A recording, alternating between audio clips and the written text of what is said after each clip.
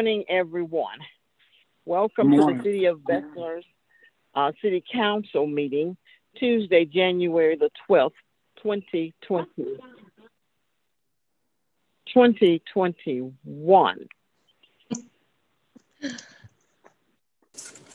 Happy New Year to those I have not spoken to and those that I have not seen.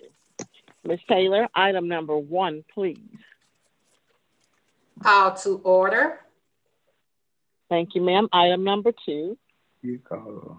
Invocation, Pastor Thomas Jefferson Rogers, Jr., New Bethlehem Baptist Church. Good morning, Pastor Rogers. Are you on the line?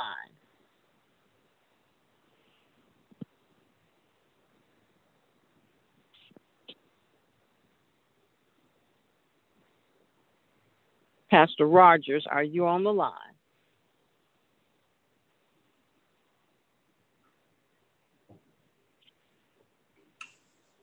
He is not on the line this morning. I've had a hard time trying to get on as well.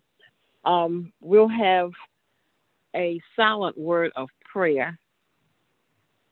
Will you bow your heads, please?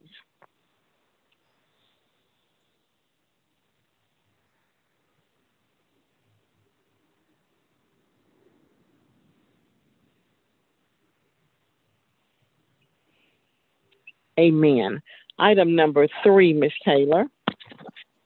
Council roll call. Councillor Alexander. Present.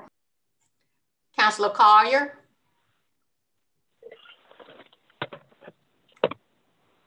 Councillor Collier. Councillor Crusoe. Present. Councillor Marshall. Present.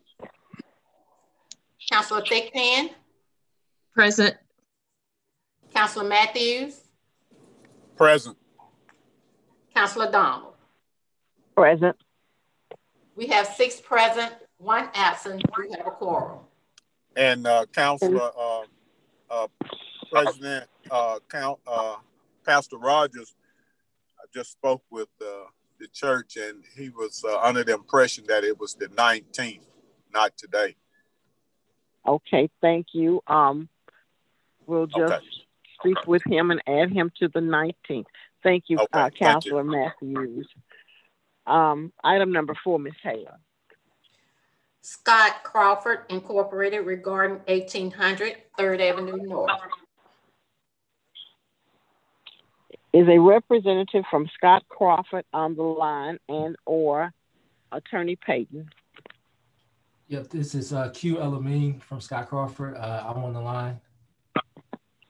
Good morning. Happy New Year. Uh, good morning. Uh, Happy New Year to you all. I wanted to come back before the council and give an update. Uh, and if I'm allowed uh, share screen access, I just want to show uh, the commitment letter that we have for the loan uh, to purchase the building. Uh, since the last time we've uh, come before the council, we've continued on our process of acquiring the building through a loan from Hope Credit Union. We've gone uh, back and forth with them uh, on the terms, but we've got- finally got a signed commitment letter uh, with them lending. And I'm pulling up the, uh, the letter now. So you should should be able to see. So right before the end of the year, uh, they, they granted us uh, commitment to, to land on the building. So uh, we can close on the building as soon as we uh, have uh, council approval uh, for the closing of it. Uh, on about two weeks ago, uh, they came out and did an appraisal on the building. Uh, we're also starting the environmental process to make sure that whatever asbestos and lead is on the property that's abated properly.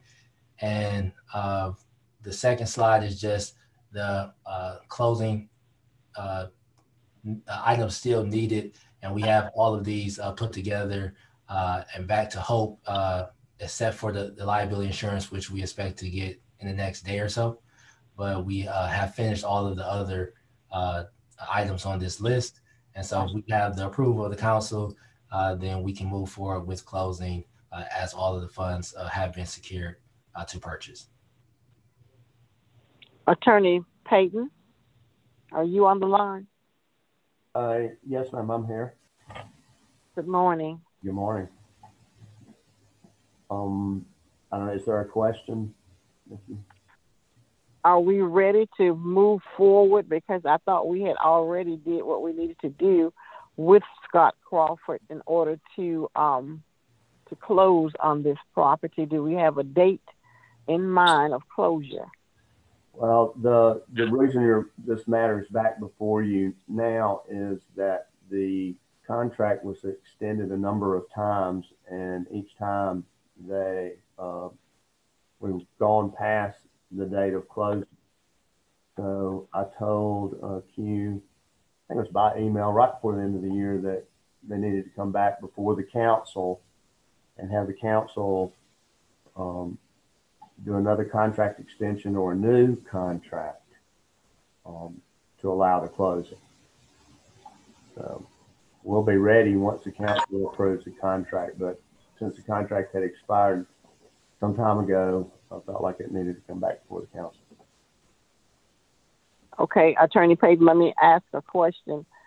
Now, if if we come back before the council on the 19th and extend that contract, will we re- will we be ready to close within that week? Well, w- we are ready. That will be wholly dependent upon Scott Crawford and their lender uh, getting the information to the closing attorney to close. The city of Bessemer has always been ready to close and is ready now, subject to the council approving the contract. Okay, Mr. Uh, the representative from Scott Crawford.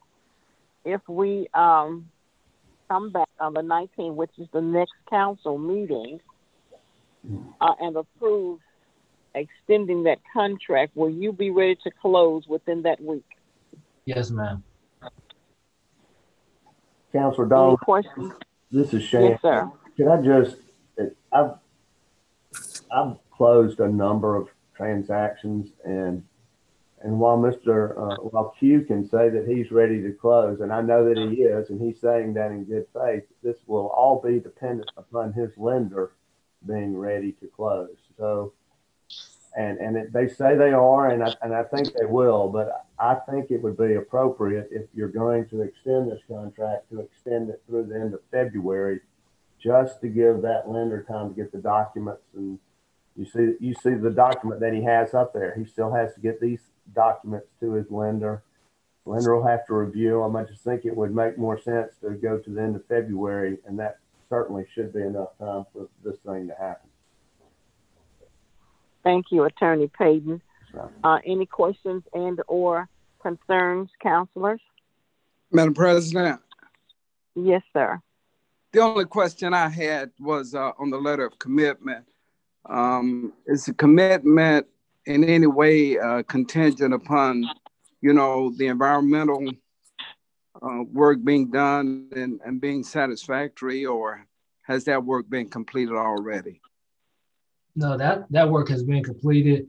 Uh, the back end agreement that said that if we don't start work uh, within, I think it was 18 months, and that's why we extended the, the loan for that. Uh, then the city actually purchases the building back for a reduced amount. Then that put the security to Hope Credit Union, because if you know if it was something that was extraordinary with the environmental, they would not be kind of on the hook uh, for the loan. So that's been at the spot.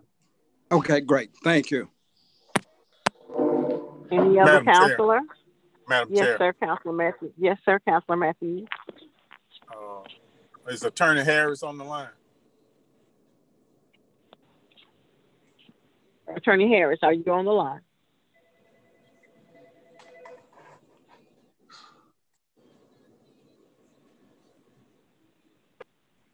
He He's should be walking up. into the He's He setting should be walking into the city hall. Thank you. He's at the city hall, um, Councilor Matthew. He's setting up right now. Okay, well, I, I can, I can ask, I can ask it later. Just go ahead. Go ahead. Don't. Any other counselor?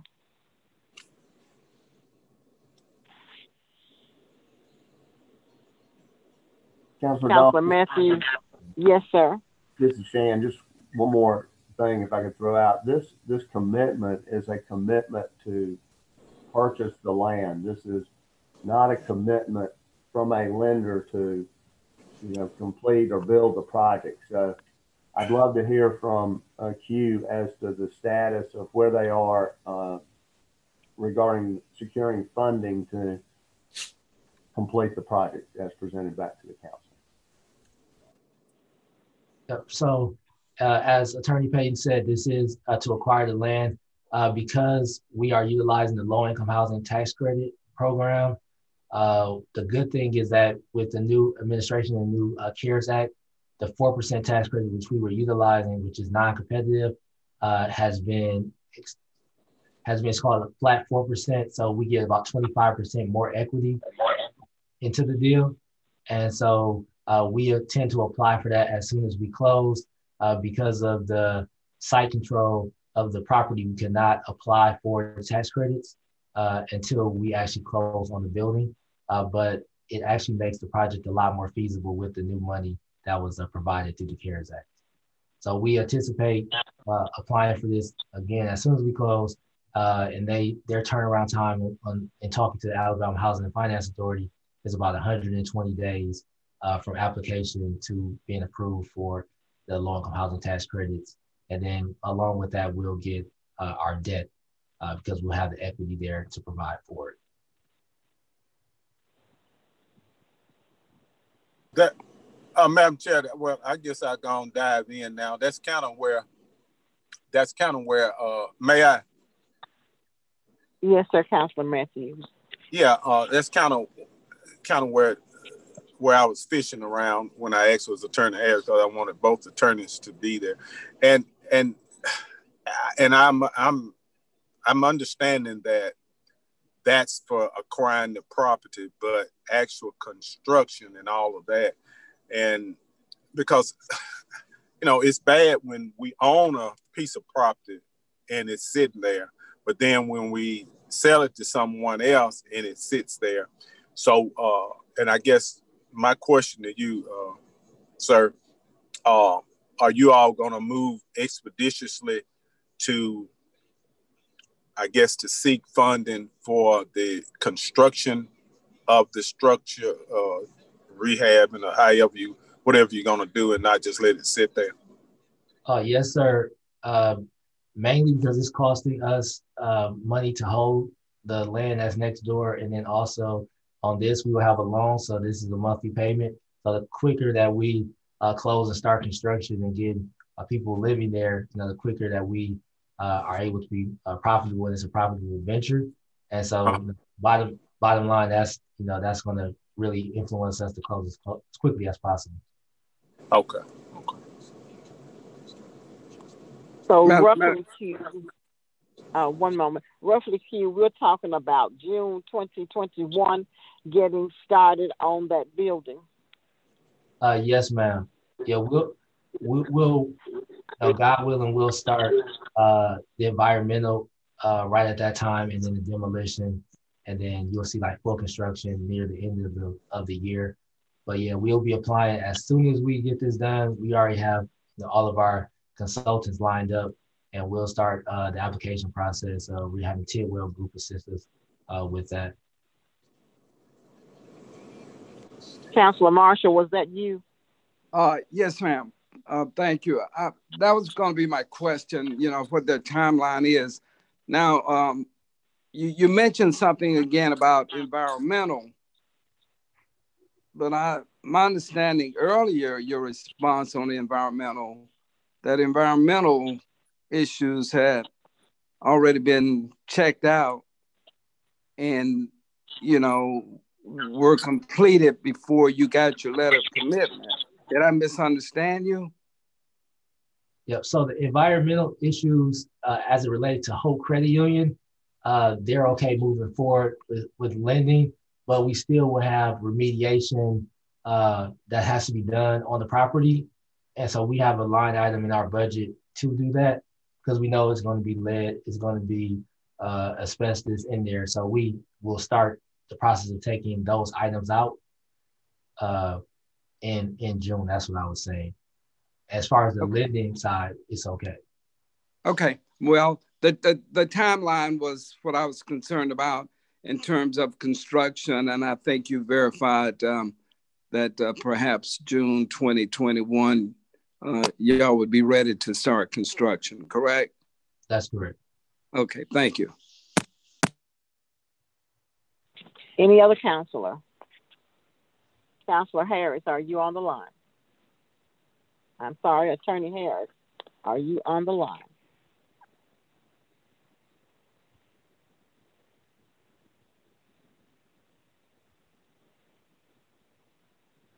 Item number five, Ms. Taylor. Item five, Strata.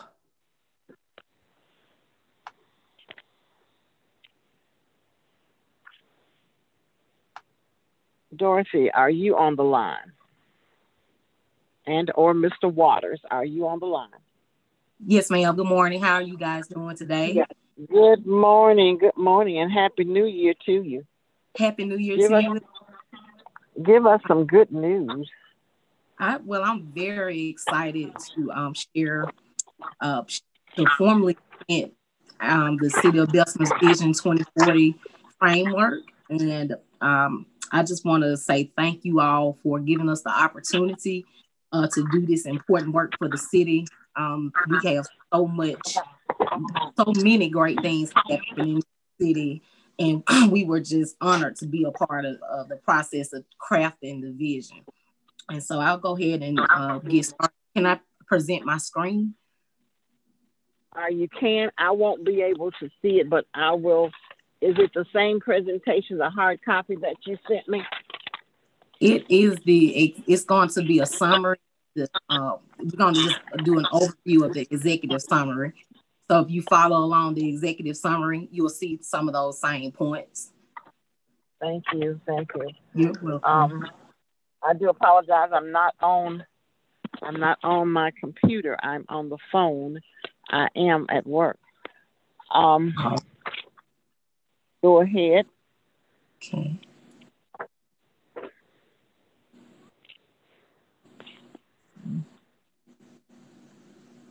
I'm pulling it up now.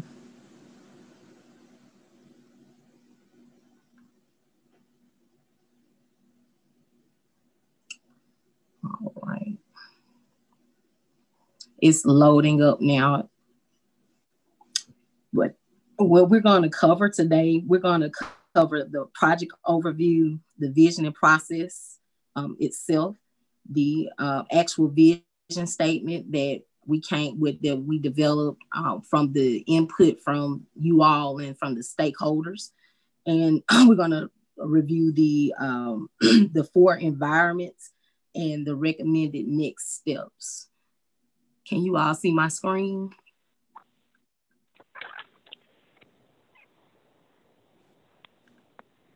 Those of you Hello? who are visual, can you see her screen? Yes, If can. not, I'm Yes, I'm ma'am. following her. Okay, we thank you so much. Thank you All so right, much. thank you. Go ahead. All right.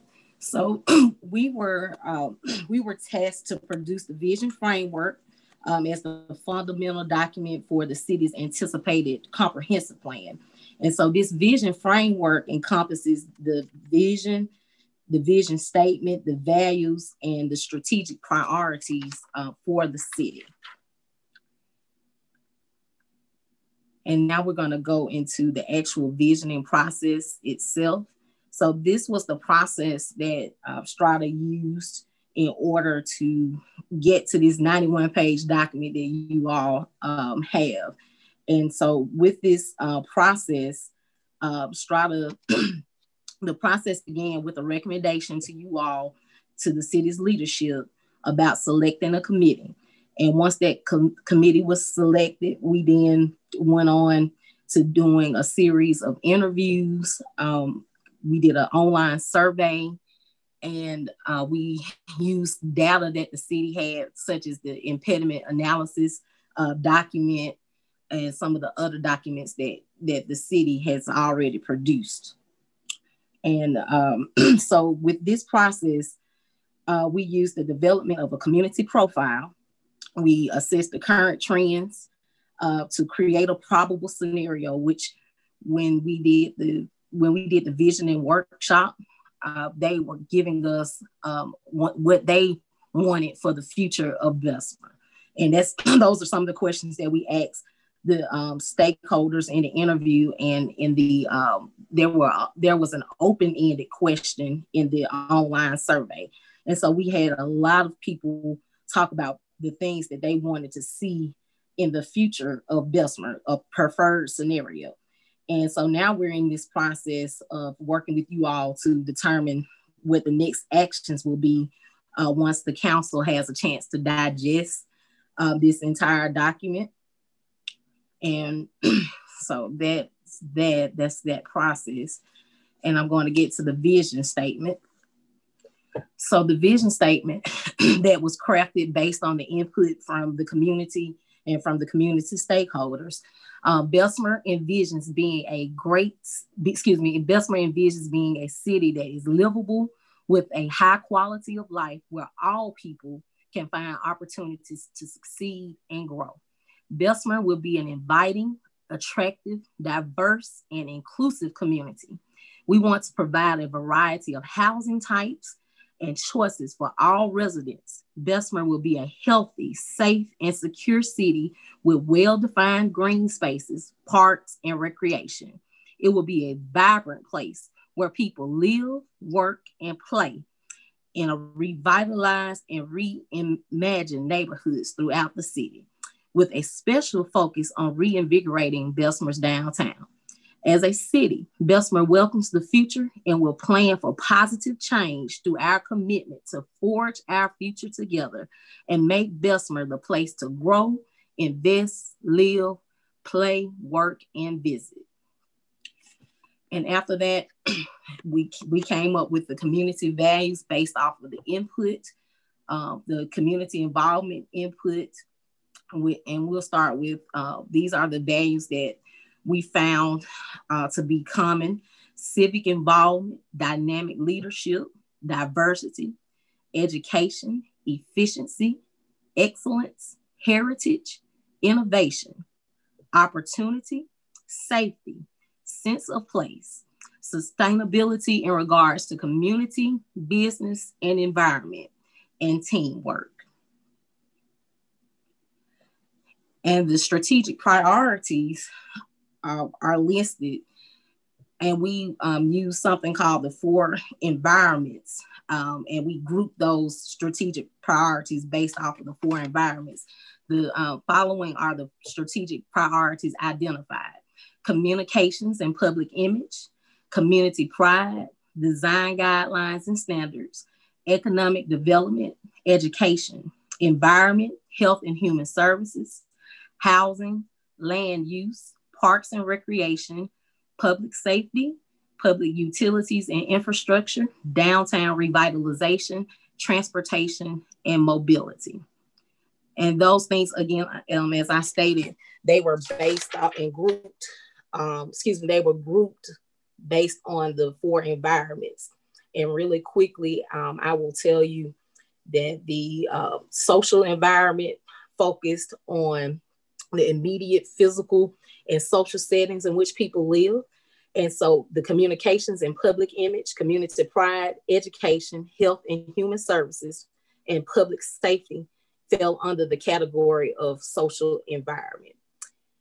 The uh, term the economic environment refers to all, um, all things economic, um, and it, it focuses on things that may be beyond an organization's control and maybe either large scale as micro, macro, or small scale as micro.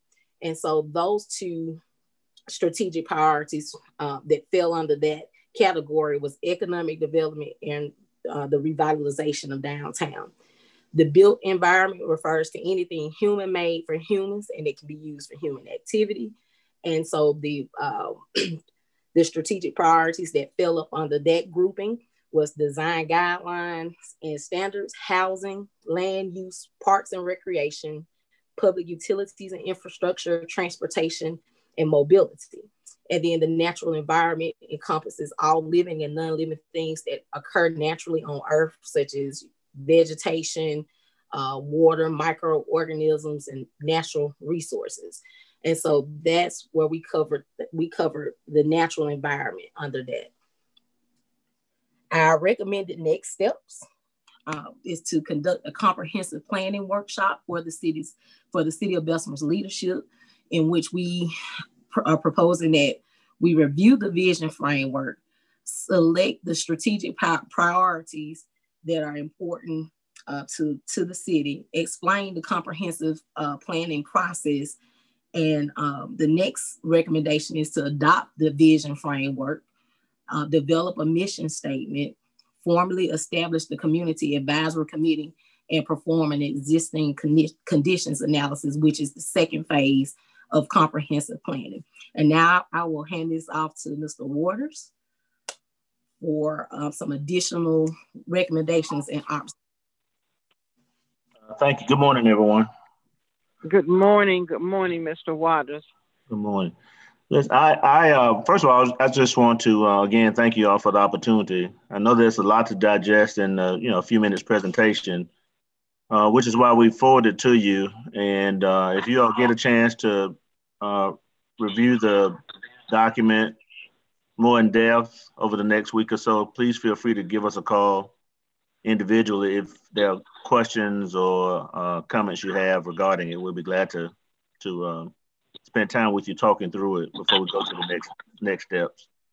Uh, do any of you have any questions for Dorothy or, or me about um, the executive summary that we um, with you today? Madam Madam Chair. Yes, sir. Council I, Matthews. I, I concur with good presentation, and I concur with Mr. Waters uh, um, with the the statement he made that it's a lot to digest. It's a lot of a lot of move. It's a lot of moving parts, and uh, I have uh, I have been a part of. Uh, I don't know if I have my. Uh, I think I have my have my camera turned some some other way. But there's another a lot of moving parts that I I see that uh, that's uh, involved. And as I've stated before, uh, and Mr. Ward says a lot to digest in this little time frame. I, I think as as as large and, and it can be complex too, and, and but it's good complex uh, I think that we need to devote a meeting just for this, okay? Uh, rather than uh, commingle it with any other meetings of sort. We just need to focus on on Strata. I mean, in our downtown community, uh, I think holistically we can we can come up with uh, we can digest this, come back, and and and come up with some uh, some tangible ideas uh, along with Strata uh, and tackle this. But to, but it's good. Like I said, it's good, good information, good start. But I think we need to devote just a meeting of with Strata only and not on a planning session. But I do appreciate the presentation. Good presentation. Yes, sir. We appreciate it and that advisory committee, I, I, my hats off to them for putting uh, putting their input in because I think we had a good group of people uh, involved at that meeting, um, and I think we need to uh, just come up with some dates in the in the future and get together and sit down and uh, go over these. Yeah, we, we look forward to that opportunity and and and like uh, I think Dorothy mentioned, is one of the next steps. We wanted to sit down and talk with you to go through this as well as go through what the process of a comprehensive plan would look like so that, you know, all of the leadership would be familiar with how that process would go. Right, right. Because Bessemer, and, and let me say this, because Bessemer has some hidden jewels, just like Arlington, Texas.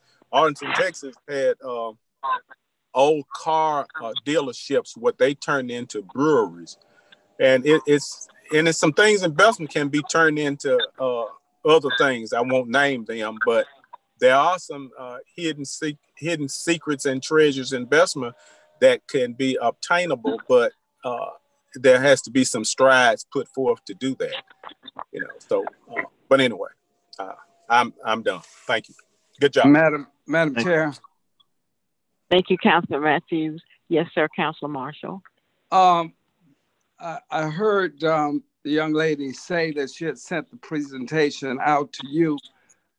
I think um, it would have been good if we could have received a copy prior to this meeting so that we might be able to review it and to, um, you know, we may have had some some additional questions. So I would appreciate, um, you know, if items are sent to you and the council has approved these projects, that we would get a copy as soon as possible so that we can be prepared and uh, better able to um, get involved in the discussion or get any questions answered that, that we might have. Thank you.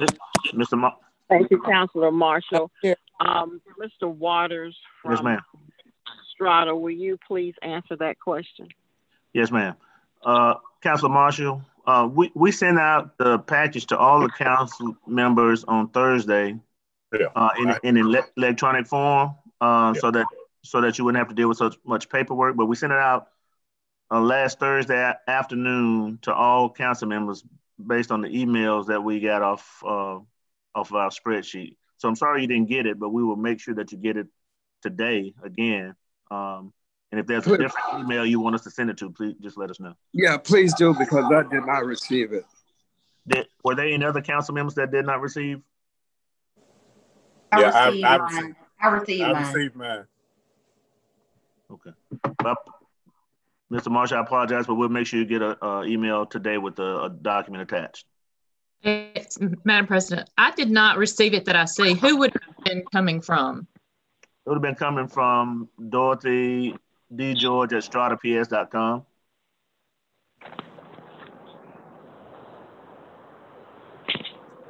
Okay, I'll look back and see if I have it not. Please Yeah. go ahead. Um, Madam Chair, sent it to yeah, I'm, I'm- Madam I'm sorry. Chair, I'm I'm looking I'm I'm looking at it, and it it seems to be sent to all the council members, the mayor, CC to Edmund Waters, Alfreda Acoff, and Terrain Norris and Angela Coleman. I mean, it it has the uh, everyone on here, so I don't know if it got lost in cyberspace or what, but uh, I do see Well, that that may- individual. Ma- Madam Chair. Yes, sir. Madam That may, uh, hold on one moment, uh, Councilor Marshall. Okay. That may Sure. be the, that may be the, the problem. It may have gotten lost in cyberspace. Because when I looked in my packet, I in turn called Mr. Waters and asked him that all of my counselors get a copy. He stated they did. And the address he sent them to, well, the address he sent it to did not come to me. It, it didn't come to me at all. So I, if you all would um, give Angela permission to give Mr. Waters the address, um, email address that you all want your your uh, packets to come to, I think that would settle a lot of it. Councilor Marshall. Yeah, I was, I was just going to say that perhaps the subject line could be something other than, um, you know, Miss George's name, and I know it had part of Strata, but if the main subject line could say something like Strata, and then then we would know. But yeah, I'll, I'll make sure that I give, you know, for whatever uh, email. But uh, if I see a, a name that's not familiar to me, I probably won't even address it. Okay. But if it if Okay, it we- had come Strata, then I would have opened that immediately. Okay, we, we Thank apologize. Uh, we apologize for that. We'll make sure that uh, a copy gets to everyone, even if I have to take this copy that I have back down to uh, Angela, and her scan it in and send it to everyone, and then place the um, a copy on your desk. Um, we'll make sure everyone um, gets a copy. Thank you, um, Ms. George and Mr. Waters, for your presentation. We look forward to uh, working with Strata and um, sitting down with you in a meeting other than these five, six minutes right here with the questions that we have. Thank ma'am. you all and have a Thank you. great day now. You too. Thank you. Item number, hello? item number six, please. Small cell. Councilor Matthews. Yes, ma'am. Uh, well, first of all, I'd like to say, you know, the uh, session starts uh, next next month in the legislature, and we'll know uh, probably what bills uh, are going to be introduced um, probably in the next week or so because we're going to have executive meeting at the league. And the reason I say that is uh, the small cells, uh, and I'm asking, I don't know, uh, we had made some strides to uh, get uh, Mr. Blankenship uh, involved in in the uh, in the small cell uh, ordinance and some of the work that goes on after an ordinance has been passed. And uh, if this is something that we still want, I, I don't know, I'm asking the question, is this something that we still want to pursue, pursue uh, or do we want to just let the bill pass and in Montgomery and we be dictated by it? Because uh, it's more to it than just passing an ordinance. There's going to have to be some other uh, activities that's going to go on uh, after an ordinance has being been passed, and that's going to be uh, left up to the uh, employees of the city to uh, take care of these uh, action that's going to be taken now. Because it's and, and I guess what I'm saying there's no need of the committee con- continue to meet if we're going to still be uh, jumping back and forth uh, about an ordinance that Attorney Payton said he has an ordinance, and uh, Mr. Blankenship said he had one, and all this meeting back and forth just, in my opinion, just don't. It, it's it's just a waste of time. Uh, and I know you all have time you know, you can do other things. Uh, so I just we just need some direction on which way we want to go with this. So, Madam Chair, were yes, you ma'am, done? Councilor Were you done, Council Matthews? Yeah, yeah. I just need we need some direction. Yeah, and I and I um, completely um, agree with you, um, Attorney Payton. Can you kind of give us an update um, as to your um, our status with your um, meeting um, with Attorney Blankenship um, um, concerning small cells? Ms. Crusoe, I, I don't have a meeting planned with them. Remember the last time the committee met, I told you that uh, I had reached out for a proposal from him and I had not received one. And I think Mr. Matthews said he had received a proposal uh, from him. And it sounds like he has been dis- having discussions with Mr. Blankenship. I submitted an ordinance for your review to consider. If y'all have any questions on that, I'll be happy to go over that with you. Uh, but And what date was that ordinance um, submitted? it was back, I don't know what the exact date. I'm going to say it was in November, I think. Okay, well, if you'd be kind enough to resubmit it um, for review, because I, I mean I can't recall it at this point. Um, you know, I would greatly appreciate it. Also, uh, Council uh, Matthews, have you heard anything as far as from Attorney um, Blankenship making sure that um, on our behalf here, um, you know, um, over legislation here in the city of Bessemer, that we have done our part as far as in um, you know, uh, doing what is necessary to have an ordinance in place, um, you know, concerning the small cells. No, I had, I haven't spoke with him. I just want I didn't want to speak to him until I see, I see what what uh, does the committee want to uh, reconvene. I know it was it was spoken of right at the cusp of uh, the holidays, and now that New Year's is over with, uh, uh, I haven't I haven't said anything. I know everybody was back and forth going. I was out of town one uh, Thanksgiving, and then uh, Christmas was right on us. So uh, there hadn't been anything uh, done yet. But if if we want to entertain another committee meeting, I think we can uh, uh, we can pull a committee meeting off now better than we could uh, uh, Before three the four holiday. weeks ago. Yeah, during the Okay, holidays. uh, and also, I mean, when I saw it on the agenda, I was expecting um, to, for Attorney Blankenship to be uh, here in the planning session. Um, did anybody take the initiative um, on reaching out to him to be present here today to further?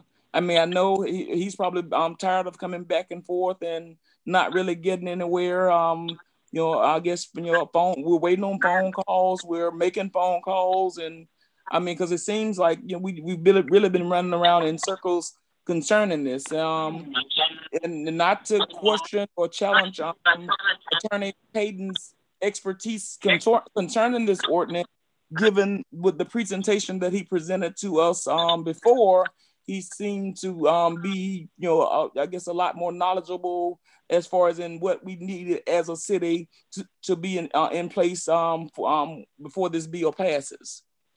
Right. Uh, Madam Chair, uh, and and no, I did not uh, invite uh, Attorney Blankenship, and as you well said it, uh, keep going back and forth because prior to Mr. Blankenship uh, coming, I must be totally st- straight up about it. there wasn't any ordinances even even thought of anything, and I guess over a period of time that came up uh, Attorney Payton, I'm be just be right straight about it. Attorney Payton came up with the with the ordinance, but and and all this back and forth. That's what I'm trying to uh, uh, to eliminate. Yes. Now, uh, I can get in touch with uh, Mr. Blankenship uh, because I don't I don't think and, and it's been uh, said about an attorney, and I call him Mr. Blankenship because he's not uh, doing attorney uh, I don't think I can I can write a resolution or ordinance, but that don't make me a attorney. And uh, we're dealing with him from a business aspect. Uh, from a business aspect, uh, so just like any other vendor, not as an attorney. Okay, but uh, I will give him a buzz to uh, have a conversation and see if he's still interested in pursuing what he had already sought. Okay, thank you, Madam Chair. Can I um, speak to that and I'll be done? Yes, ma'am. Um, uh, Council Matthews, um, I think that would be oh, um, you know, orderly as far as in given that you know um, he seemed to be you know have a you know have a little more expertise um, regarding this matter, and if we could um, possibly set up a a call meeting or um, to deal with this directly, given that you know time is upon us as far as in um, having something in place. If, if, if we can you know um, get past this this hurdle, if you know I, you know I think it'll be greatly appreciated you know um, by all of us.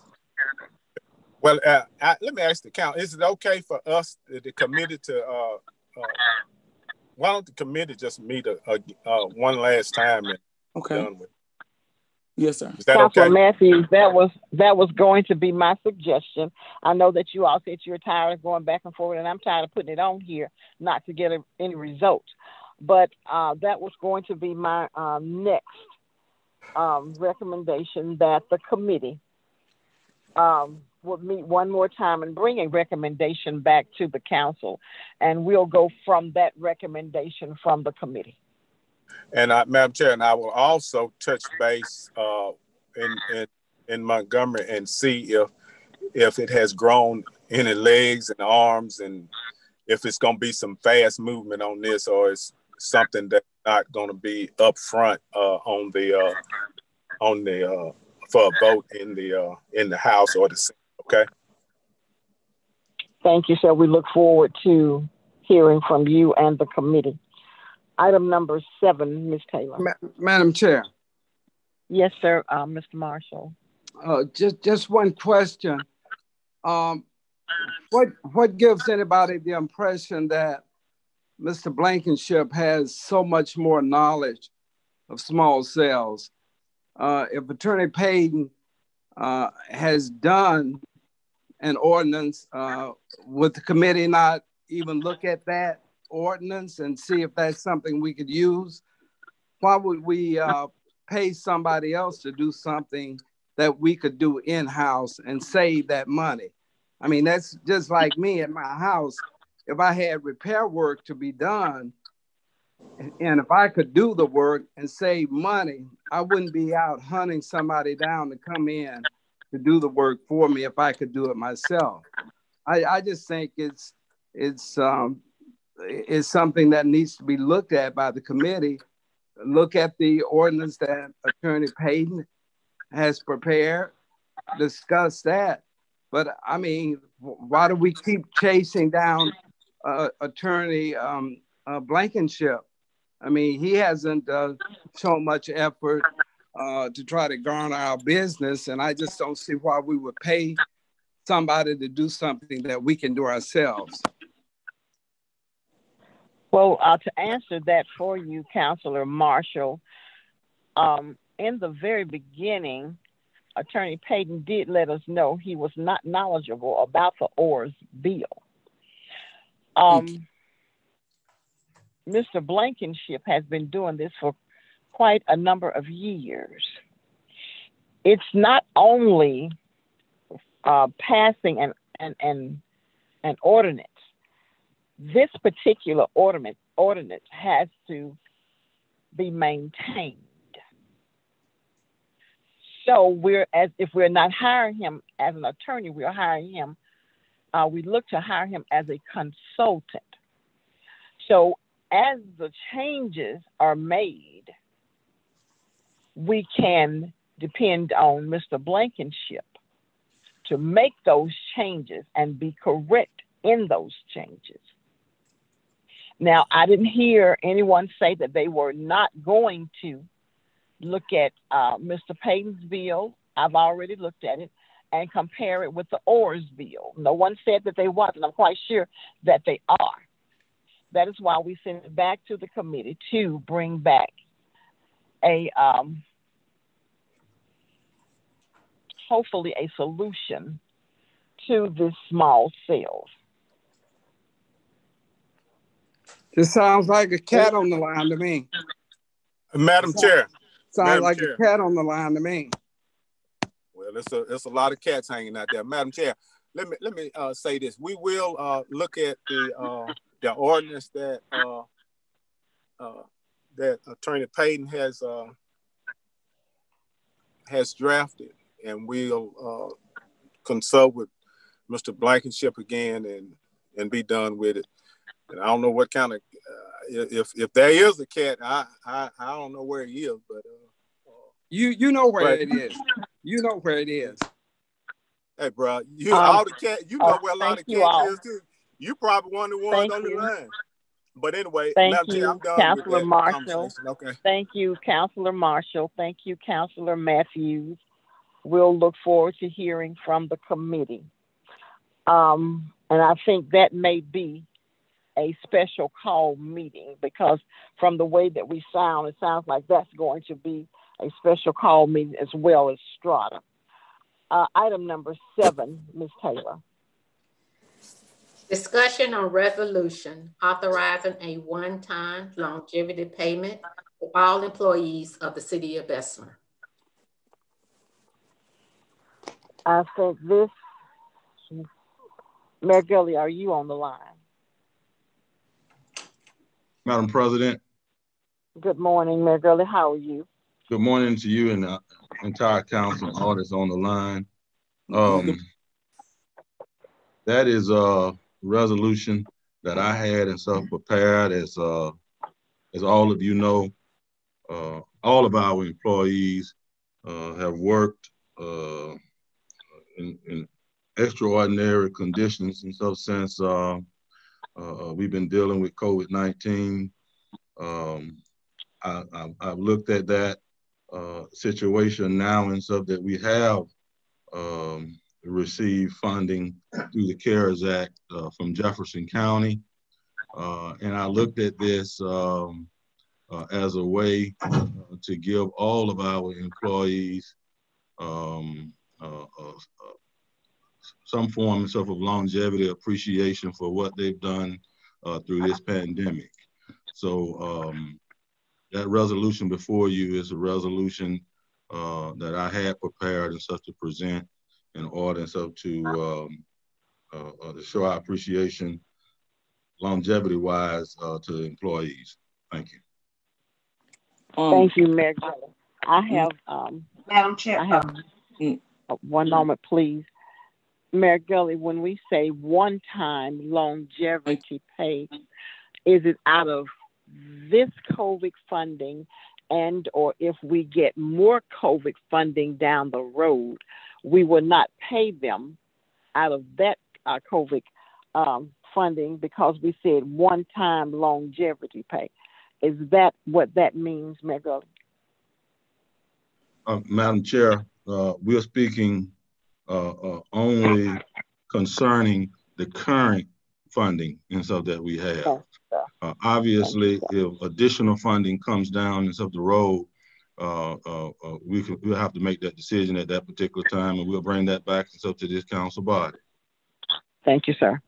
Madam Chair. Counselor, yes, ma'am, Counselor Crusoe. Okay, that was one of um, the questions that I had concerning it as to um, why it was deemed um, a one time. I guess I mean that you know goes without saying. If um you know, this is the only time that we were all receiving money from the county or from the federal government, that um I guess it's it's kind of understood. Um, you know, I mean, I, I don't you know I don't feel comfortable with the wording um, being one time longevity. Another um, concern is um, how was um, the amount um, determined as to how you know I mean as far as the uh, distribution amongst the employees? And alongside that you know since we're talking about uh, COVID um, this question would be um, I guess more so to um to uh, to, to to Mayor Gulley um, being that you are over administration where are we as far as in with any type policies and uh, with COVID policies and procedures for the um the safety or you know I guess you know the type you know safeguards in place um you um as it relates to our employees and um along with other municipalities do, have we implemented COVID pay um to um to the city employees um as well. And one more question, um, and I'll, I'll be out of your way and let and uh, you'll give you time to answer them. Um, you, as far as in with the uh, staggered schedule schedules to kind of help combat this, um, you know, not to say I mean, I'm waiting on you to give me an answer concerning this, because if you know if we don't, um, you have policies and procedures or have not allotted allotted allotted COVID pay for employees. You know, I mean, a, a lot of us are living from paycheck to paycheck. And, you know, in all honesty, given that, you know, um, you know, if, if COVID uh, pay is not in, uh, in place for them, I mean, you have a lot of them taking the chance, knowing that they have been exposed to COVID or even, you know, um, po- positive themselves um, just for the sake of knowing that you know financially it, it'll be a burden uh, on their household if they don't come to work. And um, you know, it, it, you know, COVID is presenting itself, you know, in different departments, um, you know, throughout the city of Bessemer, um, at, at, a, at an alarming rate, whereby, you know, I mean, if there are some positions that can be um, performed from from home? Um, have have, have, you know, have we um, you know um, um, visited that as far as in you know, kind of uh, uh, implementing some kind of um, you know I guess um, I guess work schedule um, whereby the ones who can work um, from home or you know I mean just something that we could do to kind of co- help combat all of these positive cases that we're um, receiving here in the city of Bessemer.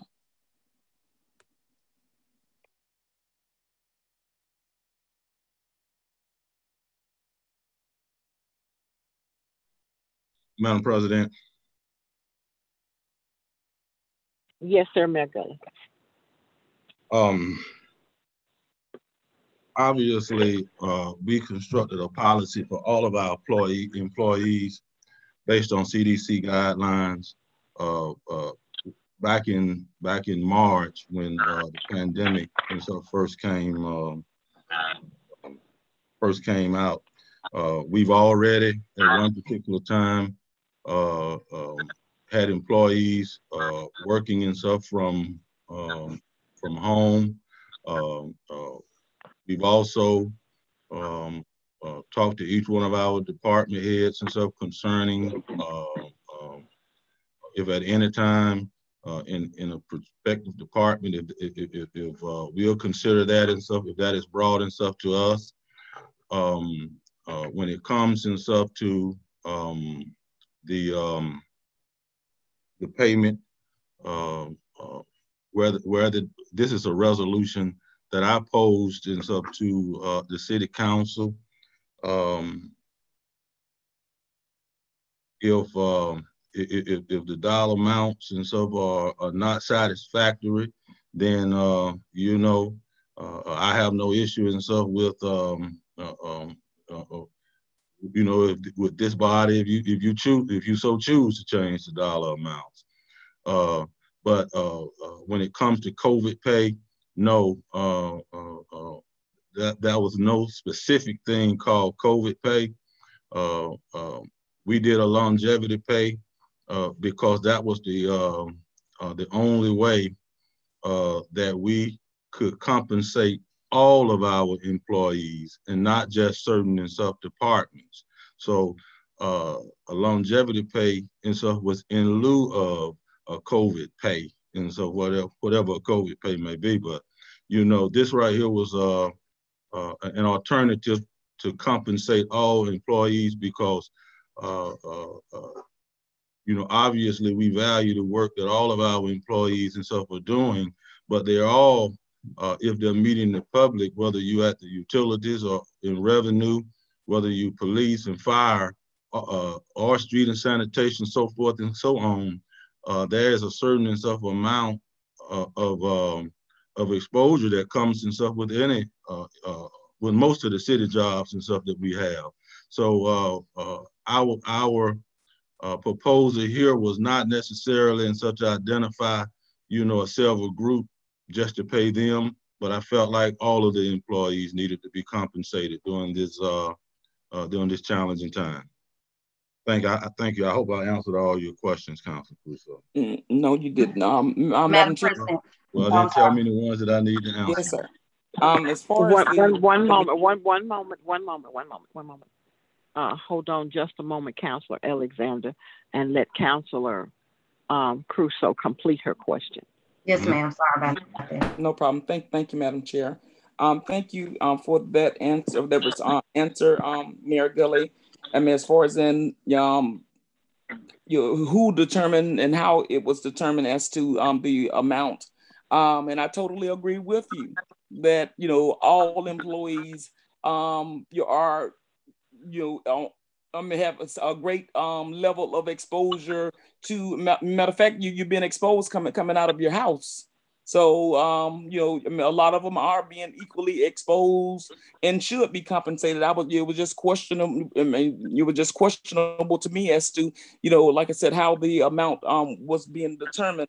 And um, as far as the the COVID policy and procedure, I know the resolution that we presented back in March I mean, we have, excuse me, we have, um, um, you, things have been altered, and uh, I guess, and also, you know, we've become become a little more knowledgeable um, as it relates to COVID than what we were at the time that the resolution was uh, uh, implemented back in March. So, I mean, as far as in possibly going back and revising that to be more suitable for um, what it is that we know now than what we were doing um, back in March when it when uh, when um, when the pand- when the pandemic initially y'all um, you came up on the scene. That was my my question concerning that. Um, and I guess you, uh, you uh, I guess that's, I'm not certain as to whether this was your answer when you were saying about your departmental heads, uh, looking within their departments to see um, with, for whom can work from home or the staggered schedules. Was that your answer to the question um, as um, what kind of policy and procedure you had in place, if, if, if in, at all concerning, um, you know, um, I guess trying to com combat employees as it related to COVID? Was that was that the answer to that question? Madam President, uh, two things. Uh, we're not operating based on a resolution and stuff that came uh, uh, that was voted on in March. What we and are, uh, are operating on is based on CDC guidelines. As the CDC guidelines change, uh, we uh, um, we work and change and so our policy for employees accordingly. Uh, and, and as and stuff for employees uh, working and stuff from home, I made that call and stuff early on. And if I deem it necessary, I'll make it and stuff again. But uh, yes, I do get the input and stuff from my department heads and stuff as well. But I appreciate your concern of Councilor Crusoe, but that is my call and stuff to make. Thank you. Yes, sir. Yes, sir. I was just making sure that that was the question that you, um, the answer to that to that question. Thank you so much for your time, Mayor Gulley. Councillor Alexander. Madam Chair. Um, again, I agree with um, Councilor Crusoe, the wording on the longevity, and I was I looked the definition up and it said the long duration of an individual life. And um, as far as um, Mayor Gulley said something about COVID or hazard pay or whatever we might have in place, but we don't have a COVID or hazard pay. When when uh, you asked Madam President, will this be in addition to if we get some more money, will they be compensated again? Uh, and my third thing is, like Councilor Crusoe said, who came up with these numbers? And I think we should uh, research the, the other cities that's nearby and, and what they did for their employees, because I have known it to be, uh, I've seen employees that's working one or two years that's doing more work than employees that's worked 10 years. So how can we, I mean, how can you determine who gets what? or how, the amount that they get. And uh, with this resolution, like you said, will this be a one-time payment or do, do we stand to get more funds uh, depending on the government and what goes on in Congress? Madam President, um, I, I, think I've already answered, and so that um, if any additional funds uh, are received, uh, we'll be uh, more than happy and stuff to revisit and stuff um, uh, uh, additional payments and stuff at that time. What I'm trying and stuff to communicate and stuff is that when asked where did the numbers come from, obviously if I did the resolution, made the resolution available, the numbers came and stuff from me but these are working papers. Uh, I don't know how to stress that anymore. That if you want to change this number to any number that you so so so choose, then um, uh, uh, uh, this resolution is to open the lines of communication to you all about compensating our employees. Obviously, the figures came and stuff from me. The one time does not and stuff go any further than and stuff the the present funding that we have and stuff right now. And so if additional funding and stuff comes in, we'll sit down and we can uh, uh, prepare another resolution and stuff to that effect. But and so if you want to change the numbers, uh, uh, uh Madam President, Madam Count, uh, Council members, you know, that, that that's your that's your that's your that's your call to make this is this is what I'm presenting and stuff to you and stuff to to uh, uh, to compensate our employees. If you don't uh if you do not agree with the numbers, you could you you, can change the numbers as you so choose. Thank you. Uh, Mayor I, I, I really don't agree with the numbers. I think we all should sit around uh, in another planning session or do a meeting uh, specifically about the pay. So we could do something across the board for all employees so it could be fairly done. Uh, but that that's that's what I'm thinking. Uh, I'm not I, I am not in agreement with uh, with the numbers, and I, I think they deserve. Um, Madam President, once again, this is a planning session. Uh, uh, that's what this is on here for, and stuff to be and stuff discussed. Um, uh, uh, this is what I present, whatever numbers and stuff that you all want to discuss and choose and stuff to do. And stuff is, uh, uh, I'm in agreement and stuff with it. I have no issue and stuff with whatever numbers you decide. Thank you. Thank you, Gulley. Thank you so much. But yes, I think we should all just um, get some data uh, from the following cities uh, the surrounding cities and, and, and see um, and really research and, and think about this and think about our employees and how important they are to the city of Bessemer.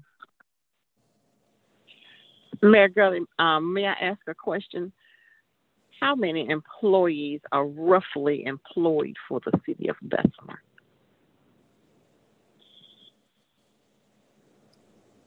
Madam President, uh, we have approximately uh, 625 to 650, uh, 650 employees at any given time. Six hundred fifty. Any other councilor with any other questions and or concerns? Madam Chair. Yes, sir, Madam Chair. Councilor Matthews. Yeah, uh, to follow up on on that, uh, looking for a piece of paper. Following up on that question you just asked, and how many of of those are first responders?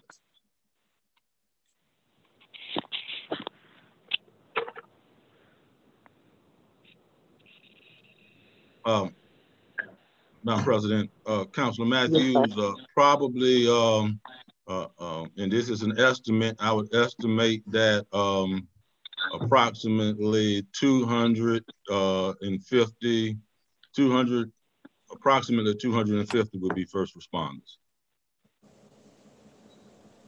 That Okay. includes fire department and That, that's correct, man. the first responders. That's first responder.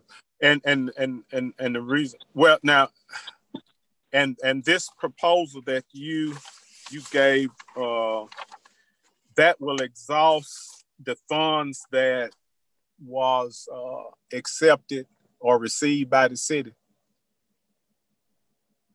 Uh, the, the CARES No. fund. No, sir, that was not exhaust the funds. Obviously, uh, there were other, uh, purchases made according, uh, uh, uh, to the CARES Act and stuff as well. Uh, what this, this, uh, this amount, uh, that we're speaking of now probably, uh, would take about three hundred to three hundred and so of those dollars received from the CARES Act.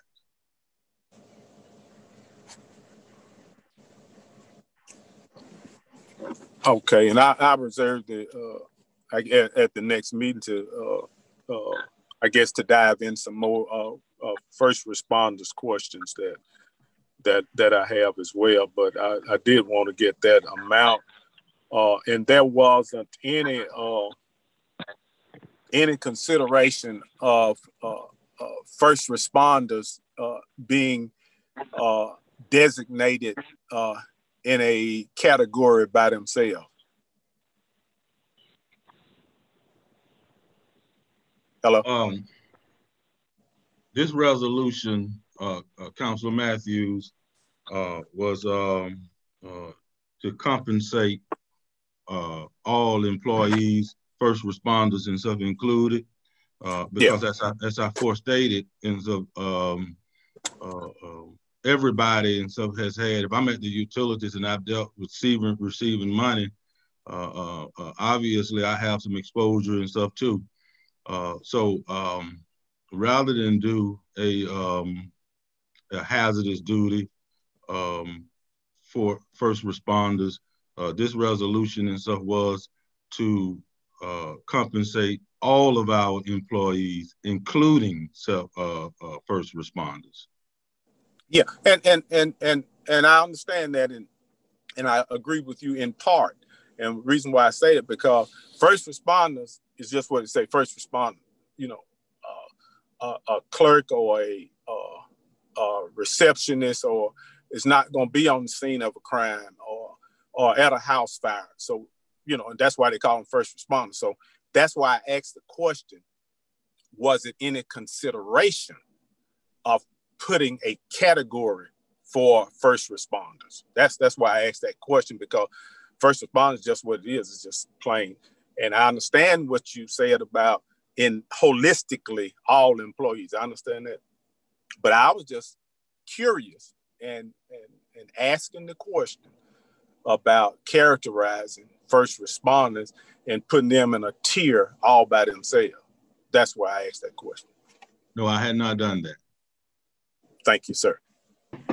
Madam, Madam Chair, just one more question. I'm sorry. Just one more question. yes, Um, sir. I'm sorry. Yes, ma'am. Uh, Mayor Gulley, you said that uh, it won't exhaust the fund. Um, uh, the uh, the pay of the 250 first responders and the other uh, employees. Again, I say let's go back. Uh, let's look at the numbers.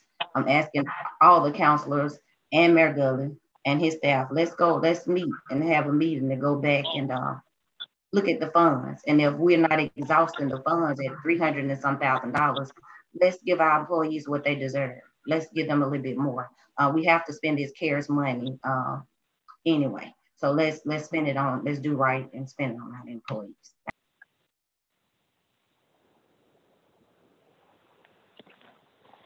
Oh, I'm sorry, and the wording of the longevity, can that be removed from the, the resolution as well? Madam President, Yes, sir.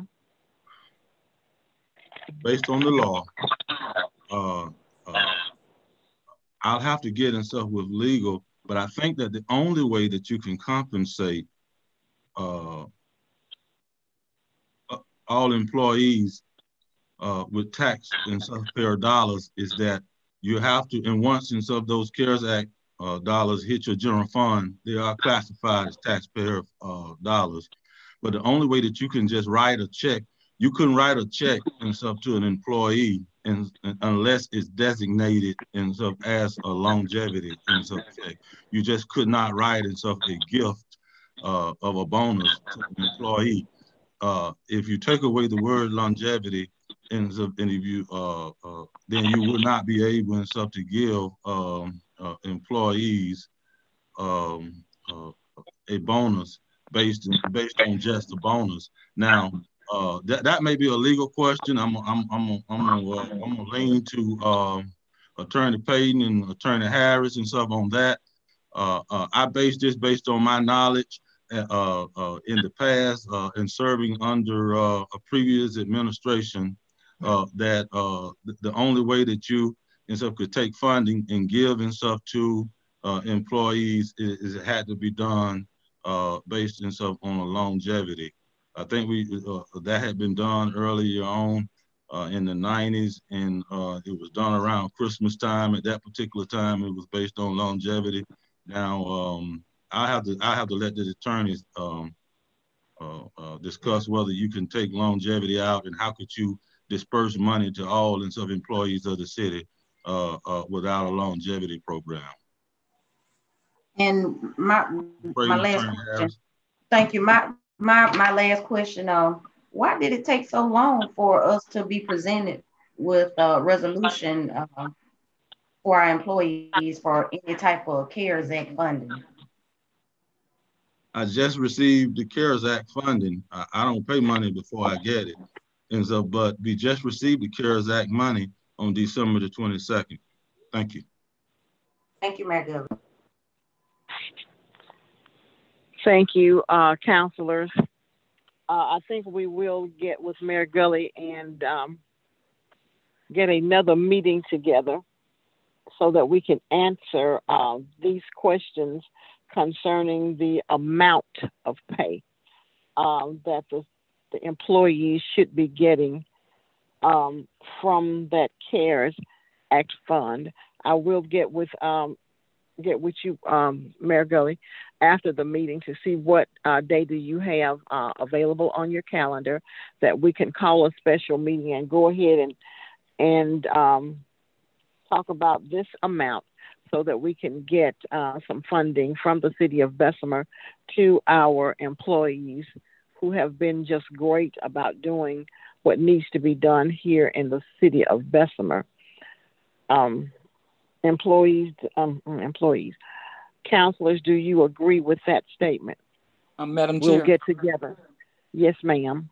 Okay, is it okay if we'll allow counsel, uh, legal counsel, to go ahead and um, speak to yes. the, um, yes, the longevity? We um, yes, ma'am. Yes, ma'am. We were but the statement that I made about having calling a special meeting and going ahead and and taking care of the financial portion of it, is that okay with the council? Yes, ma'am. Um, yeah. Attorney yes, Attorney Payne, Attorney Payne, Attorney Harris, whichever one.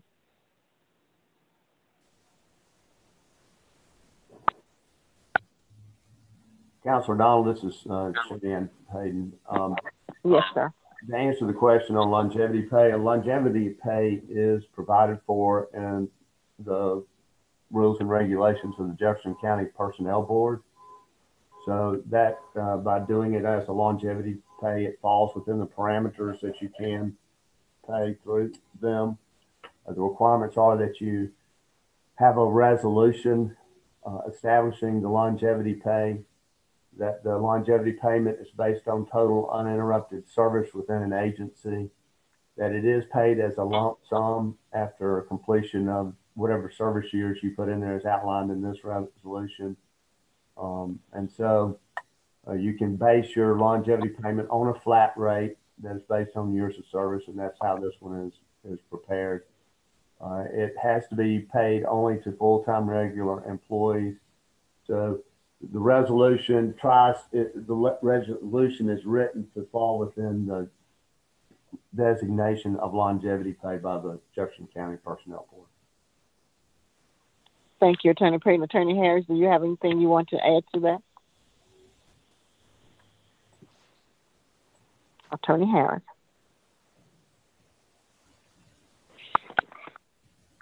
Thank you, counselors. I'll be getting with Mayor Gulley after the meeting to see what day is good for him.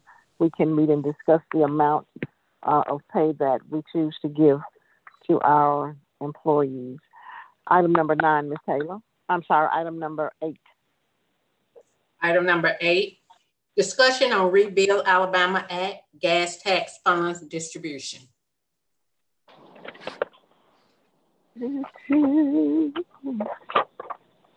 Mayor Gulley, is that one that comes to you or does that go to Ms. Pryor? It, it came from, from, uh, from Mayor Gulley. This is Ron Gilbert. I was the one that had requested it.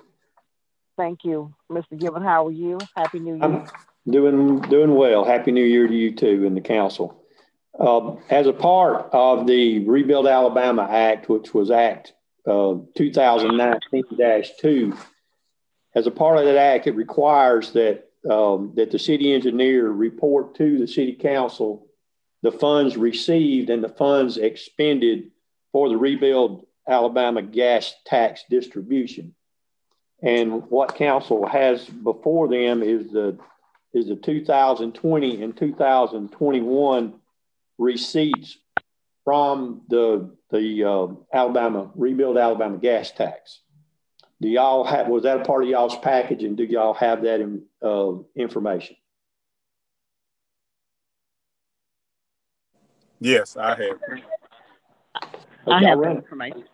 Okay, I'll run through it real quick.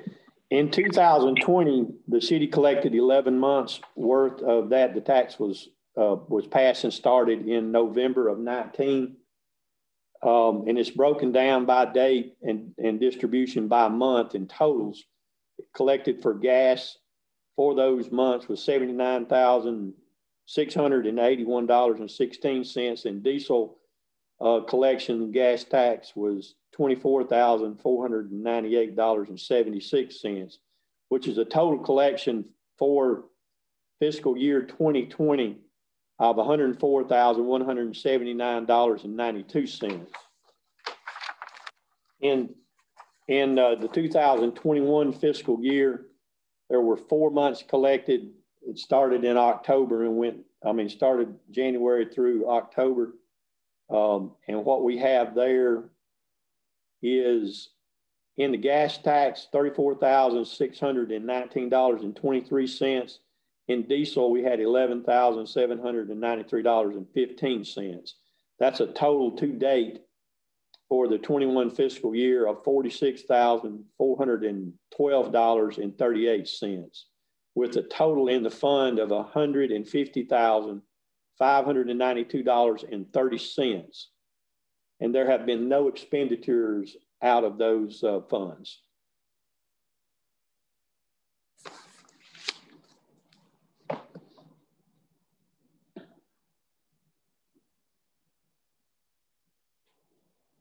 Counselors, now that you've heard Mr. Gilbert, are there any questions and or concerns?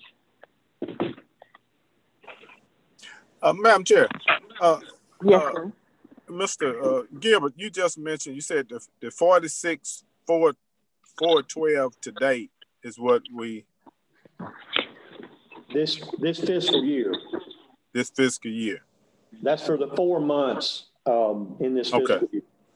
Okay, four months in the fiscal year. I got you. Okay.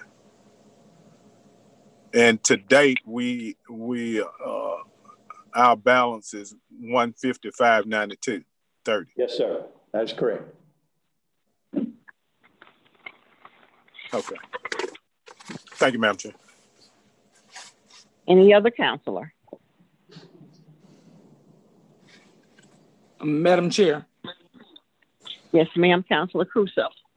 Okay, um, for clarity, um, as it was stated before, that the, um, the gas tax money, that's the money that yeah, is utilized um, for the pavement of the roads. Uh, am I correct on that?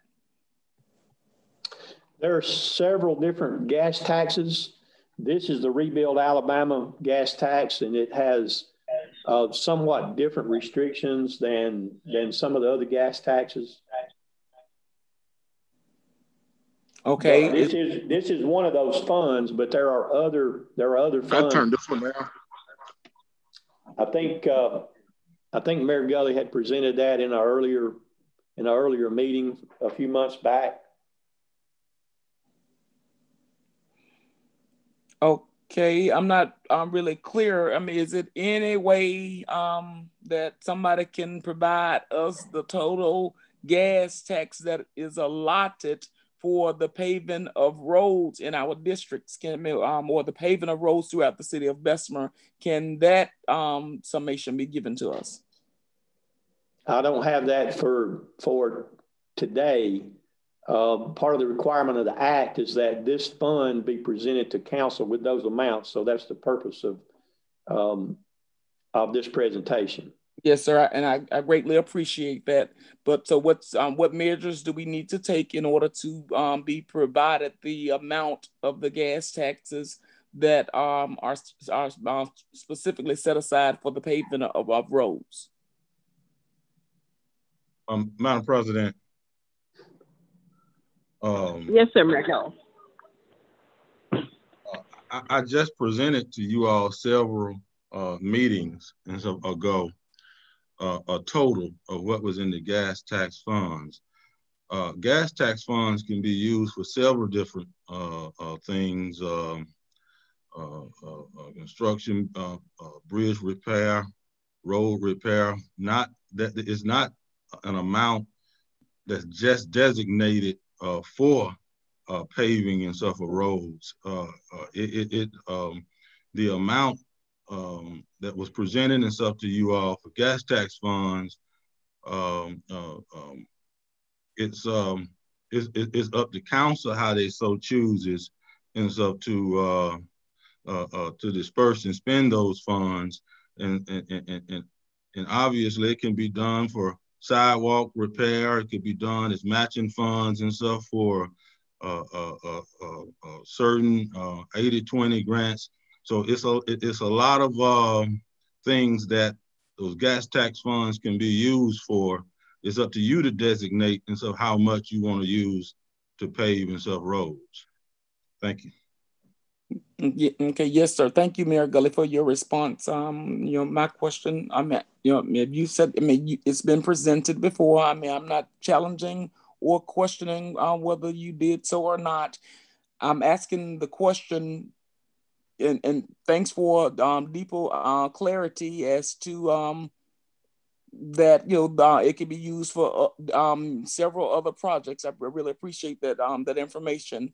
But um, again, I ask now that I've you know I'm clear on and uh, um, with an understanding that there are different type of gas taxes and different type of gas tax uh, dis- uh, distributions. Can the, the which the ones that entails the paving of roads can that balance be provided to me again? I mean, maybe the rest of them still have theirs. Just, I mean, and you know, maybe I'm a, I'm a little behind on this. If you want to present it to the entire council again, that's fine. But for me, Councilor Crusoe, I'm asking the gas tax that includes it, you know, the, the guidelines whereby you know um, the paving of, of roads can can come out of can that balance be provided to me? That that's the only thing that i'm asking.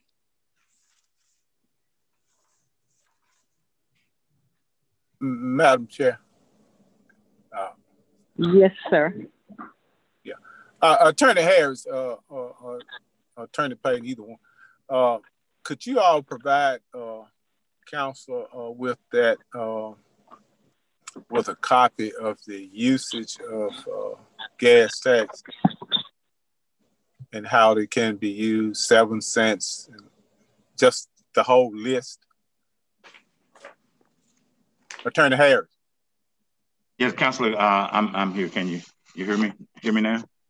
Yeah, yeah, yeah. I said, can you provide uh, uh, council, well, provide the council uh, a copy of the usage of gas tax. It's it's a it's a list on how they can be used. Sure, I'll provide. You mean a list of what it can be, what the taxes can be spent upon? Is that right? That is that is correct. That sure, is I'll correct. get that. And and, I do amount. That's and I do and and I do remember that uh, we did receive. Uh, uh, maybe Ms. Coleman may or may not have a copy of, of that, but it was provided to us a few weeks ago, but uh, and I mean a few meetings ago. But you know, things can be easily, you know, misplaced, uh, uh, what have you. But uh, we can get another copy. I think that's what Councilor Crusoe is requesting. So, thank you, Madam Chair. Yes, sir. That is. Thank you, um, um, Council Matthews. Thank you. Any other counselor? Thank you, Mayor Gulley and Mr. Gilbert. Item number nine, please. Discussion on Salvation Army sub-grant agreement and create Birmingham sub-grant agreement.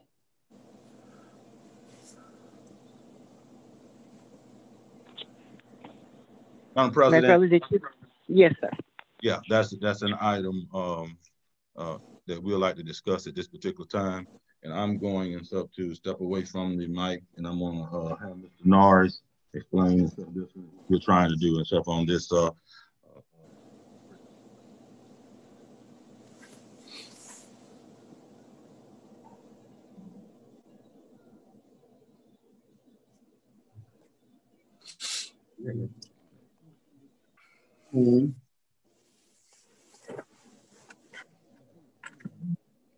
Can the council hear me?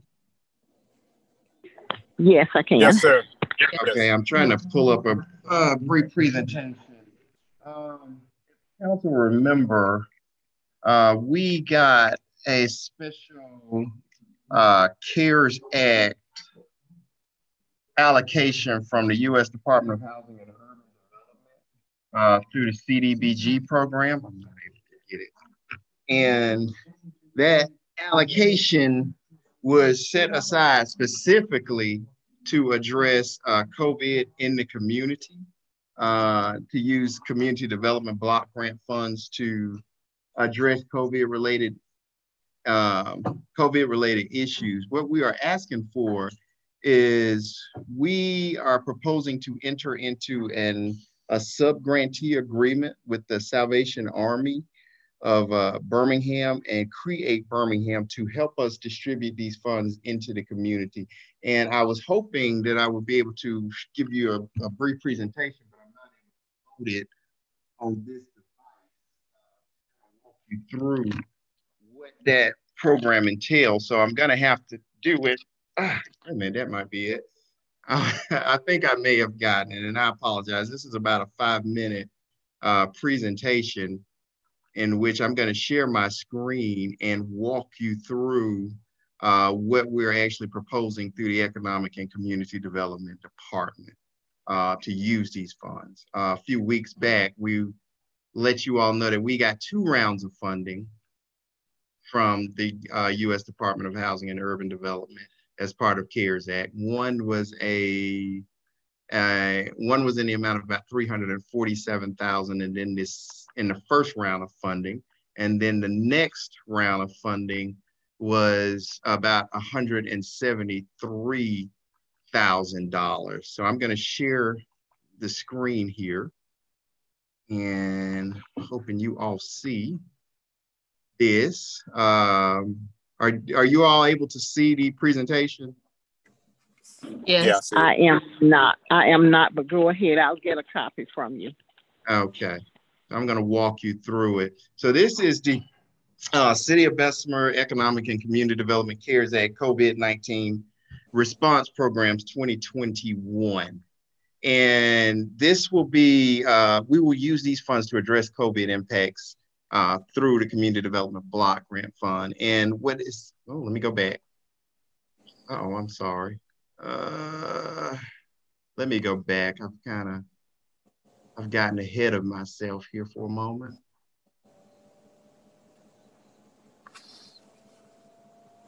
But essentially, we have two programs that are being proposed. One will be an emergency rental, an emergency assistance program, which will cover rent and utilities. And that is a program, a partnership we are proposing with the Salvation Army.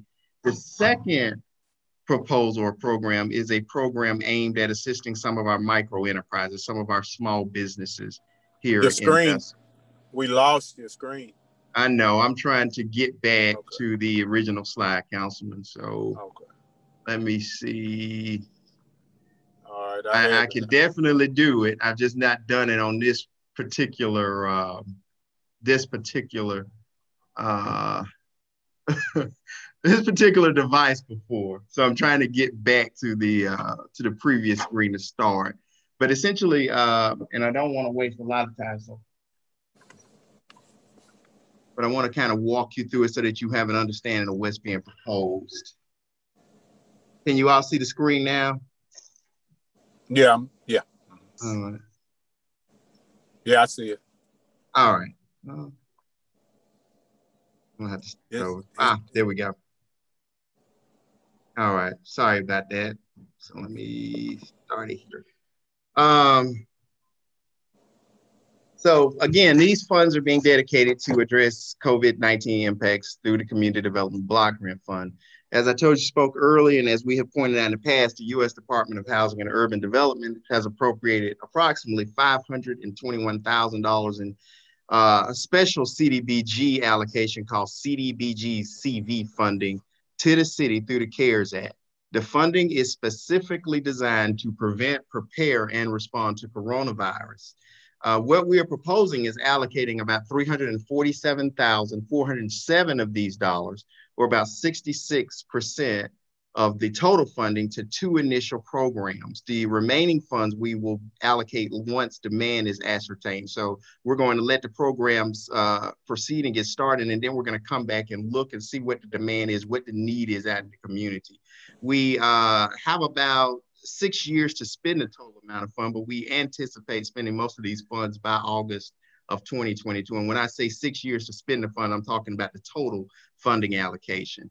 Uh, we had a, a public hearing back on December 7th where we were able to gauge some comment from the public about these funds. We also got some feedback from the Bessemer uh, Public uh, Bessemer Housing Authority on some things that they were observing in terms of the needs of the community.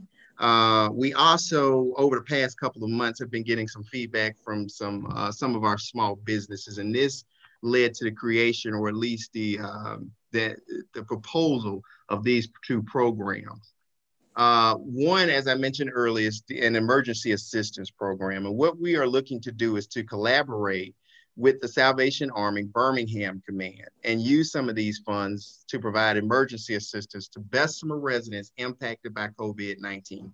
And what that assistance will look like is eligible households will be able to request assistance for rent or utility payments of up to $1,500 a month for up to three months households will need to provide documentation that they have been impacted by COVID-19. So you have to show that you have actually had some type of impact related to COVID-19 to be eligible to take advantage of these funds.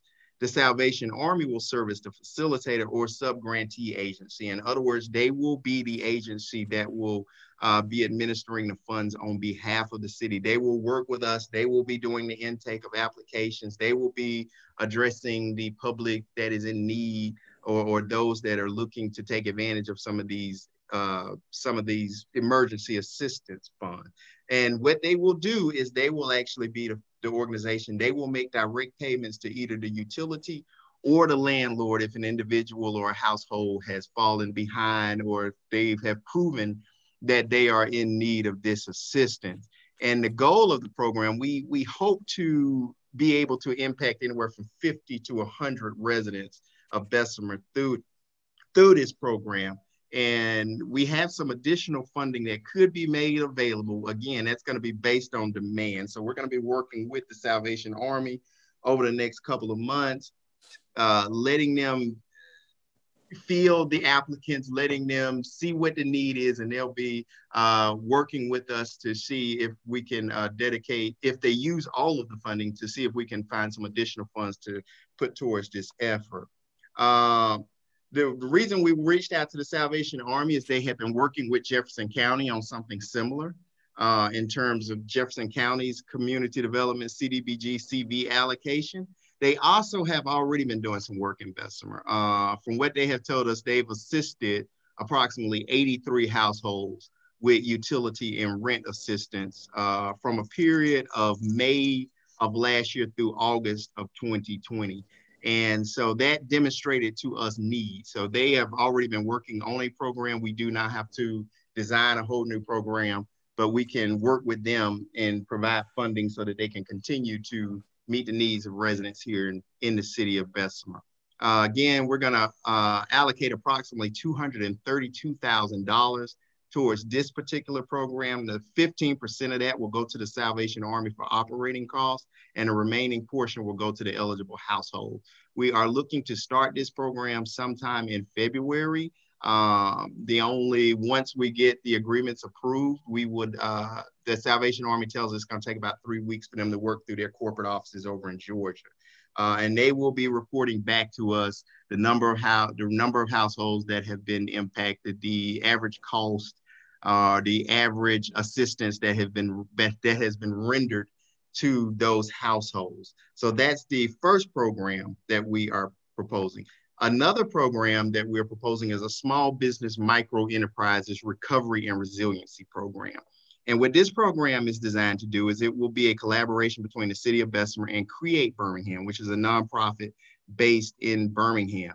We will use our CDBG funds to provide technical assistance and grants to micro enterprises in Bessemer that have been impacted by COVID-19. I'm pretty sure we are all aware that a lot of our small businesses have uh, taken a hit as it relates to the various lockdowns and the various economic, I guess, the economic turmoil that has taken place as a result of COVID 19. What we found out was that although there were some other sources of funding out there in terms of the PPP program and SBA loans, uh, some of our small businesses were not able to take advantage of that. Uh, they were either excuse me, they were either not set up properly or they did not have their prep, their paperwork, their documentation in order that they could go ahead and take advantage of some of these PPP and SBA loan programs that were out there. So what we're proposing to do in collaboration with Create Birmingham is to work with some of these small businesses to help them get their feet firmly established, to help them, in a sense, get their businesses uh, I don't want to say, well, firmly established is probably not the right word, but to help them get all of their paperwork, all of their things in order so that their businesses can be successful in this COVID-19 or this post this post COVID-19 environment. And at the conclusion of this 10 week consulting session that they will have to go through with Create Birmingham, we propose to make funding of up to $5,000 in grants available to these small businesses. Uh, we are proposing to start the first couple of classes here in the next couple of weeks with about 10 businesses or 10 micro enterprises.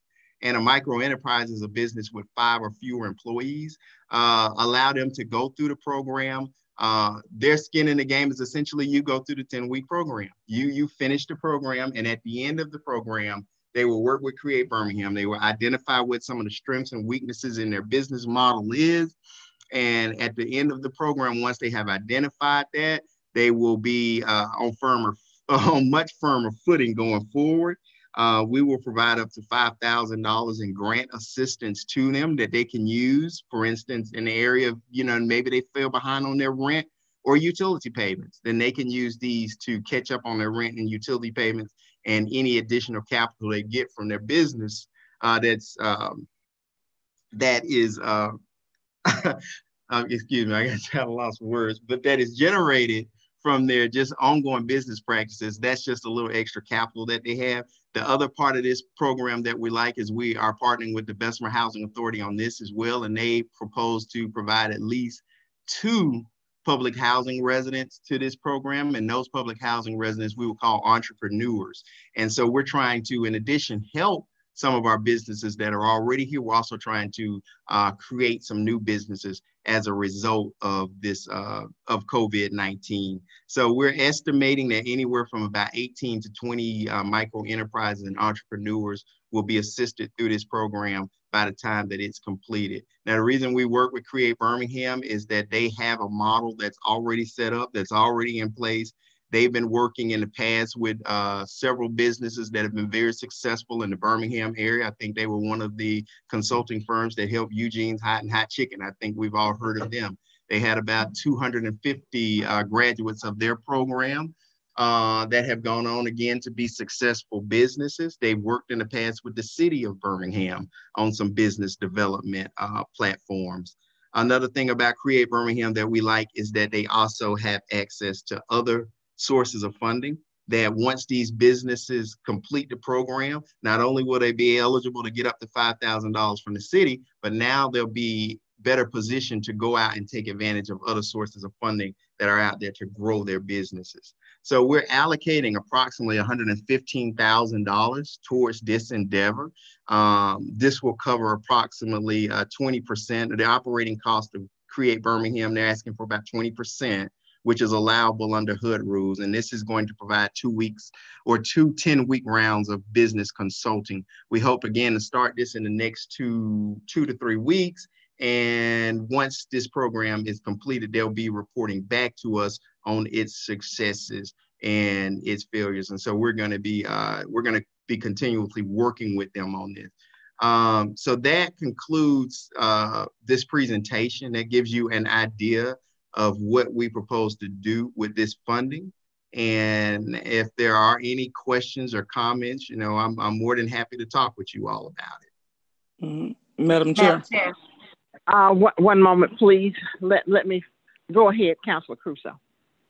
Um, thank you for that presentation, um, uh, Mr. Norris. Is it any way that that presentation can be e emailed to us for further review along with um, I mean, I heard your um, which I mean, I had written it down. Um, you kind of um, you uh, I guess slated to the answer of it as far as in how these two entities were mm-hmm. um determined. Right. Um, so down to the um the uh, create Birmingham, the um, mm-hmm. ten um, businesses being um, you, I guess once they complete the course, um, the um, in order to receive the five thousand dollars, how up to five thousand. up up to five thousand. Up to five thousand. Right. What I thought. Up mm-hmm. to five. Well, 000. they can get five thousand, but it depends on their need. They, you know, some business might determine they don't need the entire five thousand dollars. Yes, We're just sir. making up to that amount available. Okay. Um. Um. With, with these ten um individuals, how are they um being chosen? Well, we've actually had several that have reached out to us over the past couple of months. We're going to be working with Create Birmingham to set up a platform where they'll be going through the, the program. The Housing Authority will actually choose two of their residents. They're going to be doing the screening for them. And we're going to work with Create Birmingham to, to screen other micro enterprises. Like I said, we've already had several that have reached out to us over the past couple of months and said, hey, we need some help. And so because we know those those particular micro enterprises or businesses reached out to us. We felt it was important to reach back out to them and let them know that we were proposing this type of program. And so they're just waiting to see kind of once we get the agreements in place we like for them because we know what type of uh, situation they're in uh, in terms of operating their businesses. We feel that they could really use this program. And so we would definitely want them to be some of the first participants in the program. So okay, it's about. Yes, sir. Okay, with this, with this amount that um you send the special allocation um mm-hmm. on COVID, does this have anything to do with the other CDBG money that um? No, ma'am. Okay. No, so ma'am. That, that, that settles this, that question. Let me, yes, let me go forth a, with the. Yes, sir. Okay. Total you, different pot of money, counselor. Yes, sir. Okay. Can are we taking into any type consideration of uh, any of these entities or businesses that have previously received assistance, whether it was to open up the doors, um, to um, receive um, your assistance in other areas have we are, we taking in consideration those who have never received any type of assistance from the city of Bessemer to you know, uh, I guess be advanced to the front of the line rather than to ensure that we're not continuing to I mean I, I'm not trying to take away from anybody but I just want to make sure that we are being fair across the board to assist with some of the ones who are could be in, in more of a dire need that we have not assisted in the past.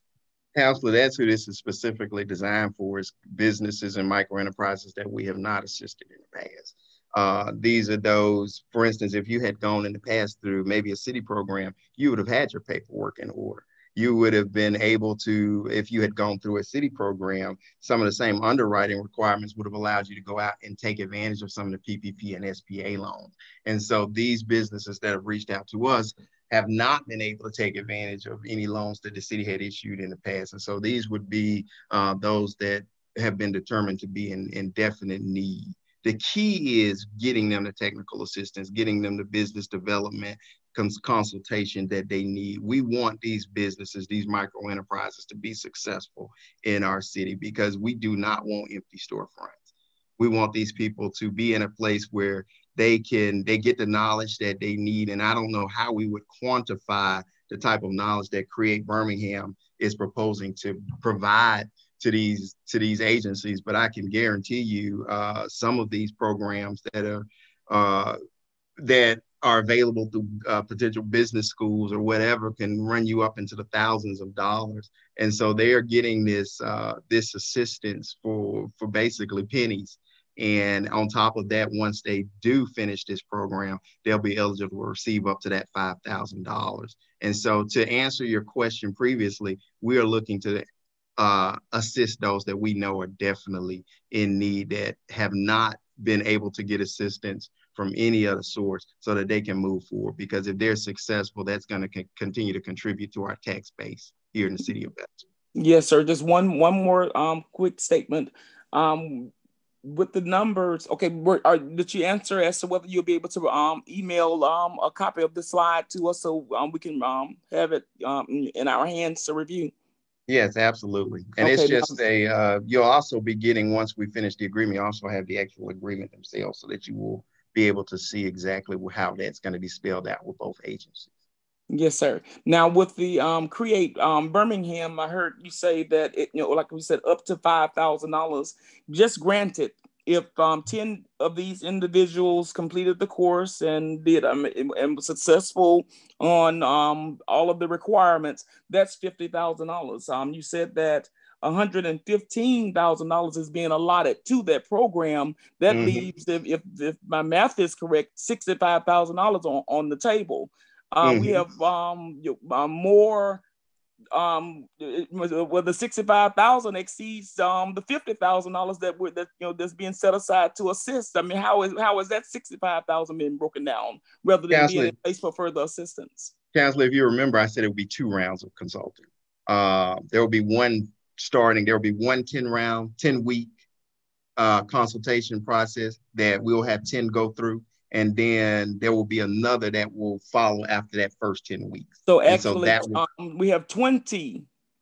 Okay. Right. If you remember during the presentation, I said we I, hope. I heard. I mean, I wrote down the um the two rounds, but that still didn't break Mhm. it down. Um, I mean, whether- It would be about with- 18 to 20. It would be about Yes, sir. 18 to 20 micro enterprises. Yes, sir. Thank you so much. All right. Thank you, you have any idea as to when we'll, we'll receive that email? Um, the email, as soon as I know that we can go ahead and move this, uh, get it on the agenda for next week. It shouldn't be any problem with me downloading this to my computer and sending it to the council. Yes, sir. Thank you so much for your time, Mr. Norris. Madam, I Chair- have- Madam Thank you, I, Council. what, what, one, Oh. one moment, please. I have a problem with that. We can't get paperwork until we agree to go forward Yeah. with this program. I have a problem with that. I have a problem Mm. with that. If we can't have Well, paperwork actually- until we agree. Hold on, Mr. Norris. You're going to have to follow the rules as the counselors. Um, if we cannot get a copy to look at this and to study this because I'm going to ask this body to um, have a meeting because there are questions that's left on the table that has not been answered. I understand this is a wonderful, and I've been waiting for a program to help our small businesses here in the city of Bessemer. But just to run through it and to move it through for next week, I don't think that's going to happen. I, I truly don't think that's going to happen. And I'm getting, um, I'm getting emails and text messages from citizens. Um, do know that you can call Mr. Norris' office and he will explain whatever questions that you have, uh, citizens, whatever questions that you have concerning this, you can call Mr. Norris' office. I cannot explain any of this to you, and I do not have the paperwork, but you can call Mr. Uh, Mr. Norris' office, call the main number, and ask for Mr. Norris, and they will um, transfer you up. And any questions that you have, I'm sure he'll be happy to answer them. Now, back to what I was saying, we cannot get a copy of this presentation until we agree on the project. No, Council, let me? Council, let me clear that up. We are proposing, we are proposing to present the sub-recipient agreements to you on next week so that you can vote on them. So that we can begin working with these, these organizations. Once you get the sub-recipient agreements in your package, it will spell out all of the details, what we're requiring of the sub-recipient agency. This presentation was simply so that you can get an overview, so that when you do get those agreements, you'll have a better understanding of what the programs themselves will actually do. Right, because we needed authorization to go ahead and move to enter into an agreement with these. People. And they're waiting right now to, uh, so it's not a matter of presenting something to the council so that you're not aware. This presentation was to make you aware of the framework of the proposal, so that by the time you get the agreements in your package, you'll understand what's being proposed. Ma- Madam Chair. I guess I'm a I guess I'm a visual person. And some things I need to see on paper prior. Yes, sir, um, Councilor Matthews. Well, yeah, I mean, earlier we were just talking about the uh, the presentation that uh, Strata gave. Okay, now I was looking at the presentation uh, then when Miss George was going through it. I would have appreciated if I had had that presentation what Mr. Norris just gave, just like I had Strata. Now I didn't know all the council members didn't have it until it was mentioned. And I concur with the council members that said that they didn't have it and they would have liked to have had it to go along with. And I would have liked it this one as well, just like it did in the earlier presentation. So I mean, I concur with you, uh, uh, Madam Chair, with the uh, with the request of having a uh, copy of that pres- that presentation. Um, uh, but I do have uh, my my question is, can it create Birmingham? I, I don't have no problem with Birmingham. I have residents, friends, council members that I, you know, uh, on on the council there. But we can we not create our own brand in Bessemer opposed to saying, and it's just a question. I, I'm just asking uh, could we not create our own brand, uh, Bessemer Strong, uh, uh, keeping Bessemer strong? I don't know. I'm just throwing something out there. But rather than go with the uh, uh, being this the shoulder or the arm of Birmingham, uh, create Birmingham. I'm just asking, or is that that's something that you all tagged along with this? Uh, how did that get? If it's going to be for Bessemer, it's going to be for the Bessemer houses or Bessemer resident, Bessemer businesses. Why is it create Birmingham? Is that a regional approach or what? Just can you expound on that? let me make sure I understand the question. Um, so why did we go with Create Birmingham? Essentially, they have already done some work that's similar to this. They've already done some business consulting.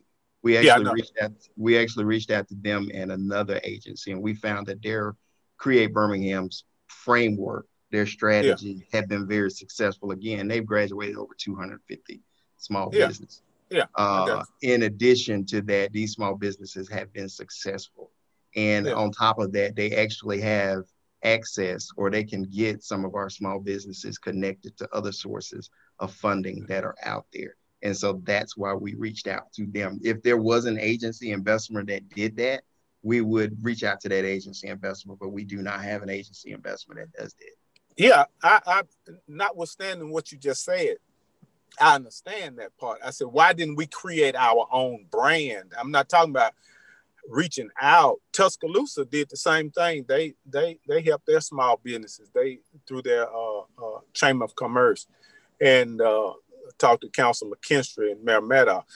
But what I'm saying, why didn't we create our own brand? Period.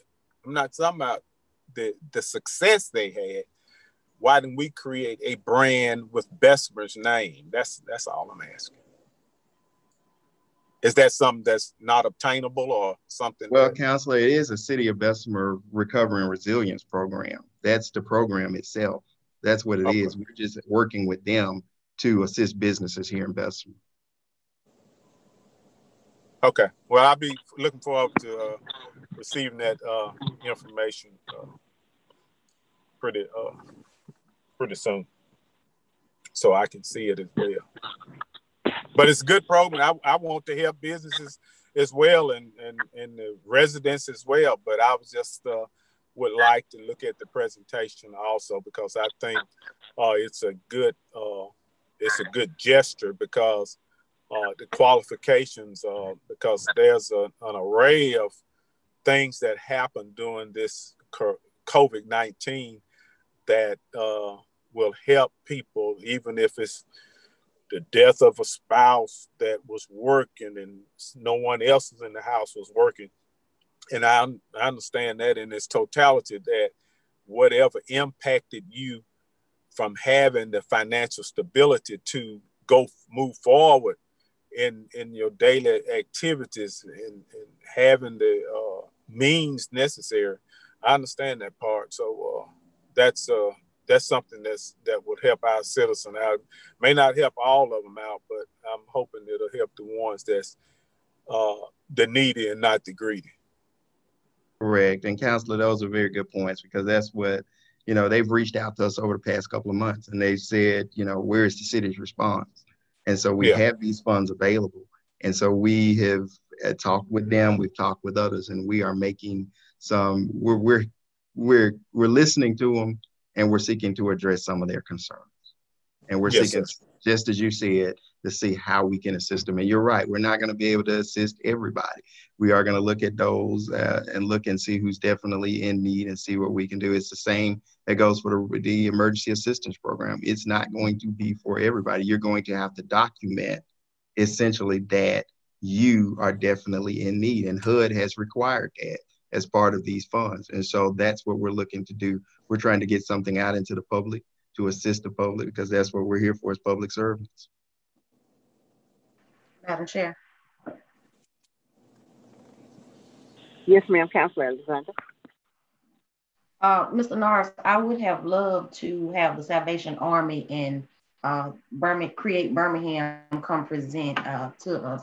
I know you said it was another uh, entity that y'all was looking at, um, as opposed to Create Birmingham, I wanted to know why didn't that come before us as a presentation? I would have loved to see them present, like Councilor Matthews said. And as far as the Salvation Army, we don't have any entities in Bessemer that can do the same thing that the Salvation Army is going to be doing because with their 15%, we will be paying them $35,000 uh, for their 15% for running the program and $17,000 uh, to create Birmingham to be over their program. And like Councilor Matthews said, I would love to see a program in Bessemer like this do you know or have you even tried to reach out to anyone to even find out if there is any entities in the city of Bessemer uh, like Create Birmingham? Uh, Council, I think we did. We did mention that earlier, and I think I answered that when I was responding to Councilor Matthews. If there were an organization that was doing something like this, that was close to create Birmingham investment, we would have reached out to them. Let me address something that you said. The, the Salvation Army actually has an office here in Bessemer. Okay. And it is that office that has actually assisted 83. As I mentioned earlier, they said they have assisted about 83 families or 83 households with assistance from the period of May of last year through August of this year. And so they have an office here in Bessemer that even before this was providing uh, utility assistance to families in need because they had already been working with Bessemer Utilities on that. Okay, thank you. I think this is great, and I think it it couldn't come at a better time. I wish it would have came sooner than later for our citizens and for uh, for our business owners in Bessemer. Thank you for locating that money for, for the city of Bessemer. Thanks for all you do. Thank you, Council. Mr. Norris, let me ask a question. You said up to 15%, up to 20%. Did anyone suggest 10%, 5%, 7% that we have to start off at the top of the totem pole? Well, I know in the case of the Salvation Army, they're getting 15% from Jefferson County to administer their program. And so we asked them if they could do it at 15% for ours, and they said that they could in terms of Create Birmingham, this is 20%. So this is about 15,000, maybe $23,000 total. Um, they actually use consultants and they would have to pay the consultants that would actually work with the, the small businesses to walk them through and to provide technical assistance to them as part of the program. Okay, so they they've reached out to a third party. You know, I'm looking at this um, Mr. Norris. I'm looking at this as the back half of small small cell. That's that's what I'm looking at. This uh, we can get consultants to come in and do X, Y, and Z and pay them, but we cannot get um, consultants to come in for small cells. That's just just the back half of small cells. Thank you, Mr. Norris, um, for your time. Um, because I know this takes a lot of time to do. Thank you for your time. Um, Madam Chair. Yes, ma'am. There's one more um, quick question um, to Mr. Norris before um, we move on, if you don't mind. Um, uh, Mr. Norris, as far as in um, with the money um, that's been allotted to us, assist with businesses, um, are we focusing more so on small businesses? Um, you know, I'm, I'm just saying, you know, I mean, as to how are they being identified? Um, is it a certain amount of staff members? Um, you, is it where I guess different parts um, of the city of Bessemer? Um, just you know, hypothetically, I, think I heard you say something about the technical aspect of things. Like for instance, um, our library, um, would they qualify um, under this grant money? a library wouldn't qualify. That that's a public institution. That's not a private. That's not a private entity. Okay, uh, you. Mm-hmm. But you know, I think you know, uh, you know, one of you know, we have some business owners here in Bessemer that have opened here in the last couple of years. Some of them in our downtown, and they have said, you know, uh, hey, we're we're in need of some assistance. We're needed some help. Again, it's it goes beyond the money. It's the technical assistance that will actually help them get their businesses set up to operate smoothly. And remember, this money ha- is set up to prepare and respond to coronavirus. So we're using it to help them tr- make transition into a, a COVID-19 slash post-COVID-19 environment. We want them to be set up to be able to, to prosper whatever the new normal is. Say, for instance, if you're a restaurant or, or a cafe or a small shop, and you had been accustomed to people coming in and sitting down in your shop and eating, you may want to start looking into delivery services. And so, what this agency, what Create Birmingham does, because they've already done that with some businesses that were based up in the Birmingham area. And let me say this they have assisted in the past, I think maybe one or two, uh, maybe either business or a nonprofit here in, in Bessemer. Uh, what they have done is they will connect these businesses with those that have already been successful so that they can get some mentoring and and and again for the businesses investment that's huge in terms of helping you make your transition and be able to operate in a covid-19 post covid-19 environment. So counselor we are again going to look. We know as i mentioned earlier that we've had several that have reached out to us.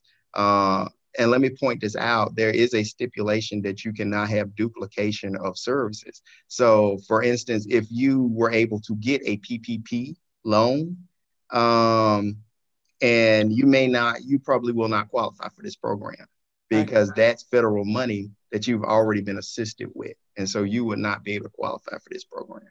Yes, sir. And thanks again for your. I hope that answers your question. It, it did. Thank you so much for your time. Okay. Madam Chair. Yes, sir.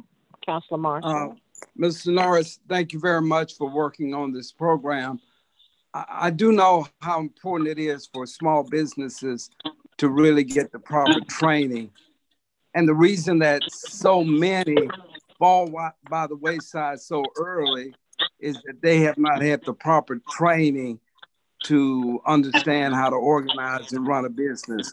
So this really ought to be a shot in the arm for a lot of our small businesses who will have to go through that 10 week training program. I'm familiar with Create Birmingham and I know the kind of work they do. So I can I can pretty much assure that those those people who go through that program are going to be on stronger footing and really will have a greater opportunity to succeed. Thanks again for your work.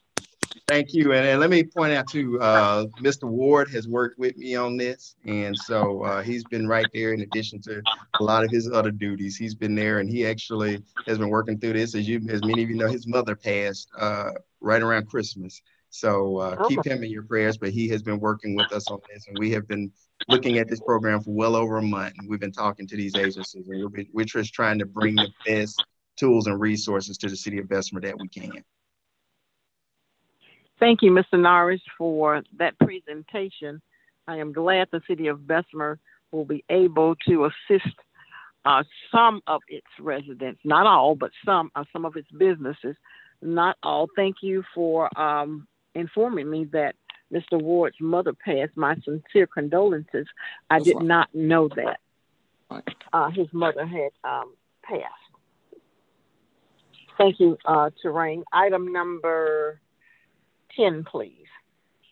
Item 10, requesting status of demolition on the following properties in District 6. I um, think Councilor Matthews asked for this to be on the agenda. Yes, ma'am. You can you hear me? We can hear you, Councilor. Yes, Would you like I me to? Yeah, um, yeah. I the last time I, I received some information uh, about this was uh, you know, the latter part of last year. Um, and one was uh, the pro- two. Some feedback coming from somewhere. Uh, 2007 16th Street. It was uh, being tested for asbestos. Uh, and 1900 18th Way permission to demolish form, and 1908 18th Way uh, the Russells uh, permission to demolish form uh, is being sought. So uh, I spoke with the Russells uh, over the weekend, and they told me that it had been uh, permission had been granted.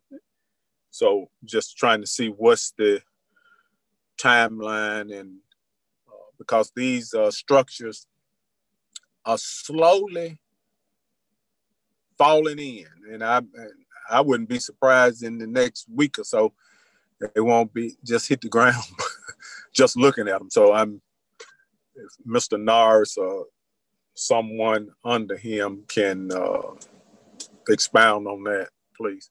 Yeah, Councilor Matthews. Um, yeah, in addition, uh, you are correct. They did get the written approval from the owners to demolish that property. These three properties will go out in the next batch of properties that will be bid for demolition.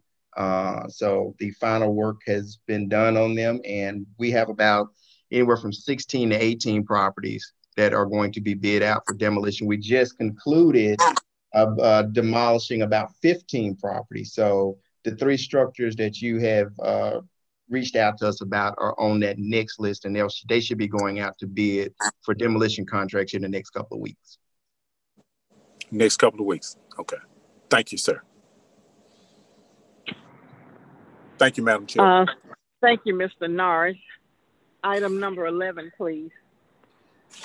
That is on upgrade and or install street lights on Flint Hill Road between 4th Avenue and Carriage House Road. B, status on upgrade and or install street lights on McCullough Road between Flint Hill and Eastern Valley Road. I think uh, Councilor Matthews asked for that one to be on the agenda. Yes, I did, Madam Chair, uh, along that same timeline. And since uh, I did request this, and I was said that it would be uh, the stat, it would be looked into. But since then, we've had uh, as recent as a couple of weeks ago, we had a car to take down a pole, and we've had some issues and uh, problems right there on McCullough Road behind the uh, Dollar General where we had complaints concerning them going through that little opening. And even uh, you, Madam Chair, I think you you had you you've been a person of trans transporting through there yourself. So there have been several uh, problems in that area due to bad lighting, uh, illegal drug sales, uh, hidden poles, and people just uh, hitting even the head wall there by the fire department. That head wall is I don't know why, when it's gonna get repaired, but it's it's been hit. And even the lights that used to light up the fire station, it's two lights, been uh, 47,000 uh, high pressure sodium lights, one in the front and one back to light up that whole fire station property. Those lights, I guess maybe I let the fire fire fire personnel uh, complain about that, but it's it's it's some inadequate lighting in these two uh, streets. So uh, just trying to see where we are.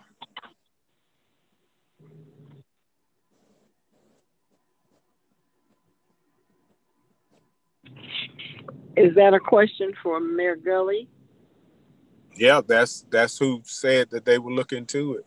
He said he would uh, I guess, get with the Bessemer Electric and have them to do a study out there. Uh, there any progress on that, Mayor?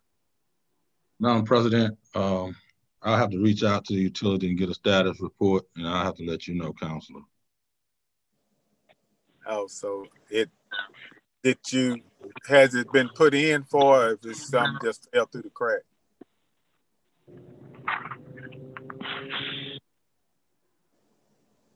Sir? A status report means that it's already been put in. Is if it fell through the crack, I just I will be telling you that I'm going to report it. So uh, uh, uh, yes, sir, it has been. I'll, I'll, have to get a status report and stuff again on, uh, on, on where they are relevant to that. Thank you, sir. Thank you, Mayor Gulley, and I um, I must say this to the council as I was reading. Um, we have been recording Dartmouth Avenue, and Dartmouth Avenue is dark, Dartmouth Avenue. Well, I was reading on Facebook, and the young lady that um, had an accident and there was a fatality, she came on and she stated that she has post some type of syndrome because it was so dark on Dartmouth Avenue and she could not see. She wrote a long post there on Facebook. Um, I would like for Mayor Gulley to read that, um, and maybe that will um, some type of way we can get some assistance with some more lighting on Dartmouth Avenue. I know that we say 300 feet, 300 feet, but maybe the lights need to be changed, the bulbs need to be changed, or some type of way we can add some more uh, lighting there on Dartmouth Avenue because I sure would hate for another fatality to be there on Dartmouth Avenue because it was so dark, as she stated. She said it was just dark and she couldn't see. So I would hate for something else to have to happen. Um, Mayor Gulley, if we would just uh, look at um, how can we add uh, more lighting there on Dartmouth Avenue or maybe a traffic light or something to slow down that traffic? Because once they get a start there from 19th Street, they're going straight into Carolina Terrace and Dartmouth Avenue, not caring about anyone or any situation. Thank you, uh, Mayor Gulley, for listening to us. Item number 12, please. Fiscal year 2021 TAP contract funding agreement for streetscape improvements along 19th Street North, project number TAPB8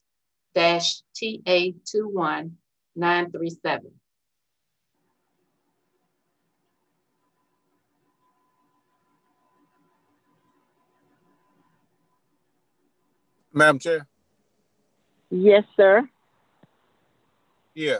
Uh, yes. Yeah, I, I have I have questions on that. Um, may I?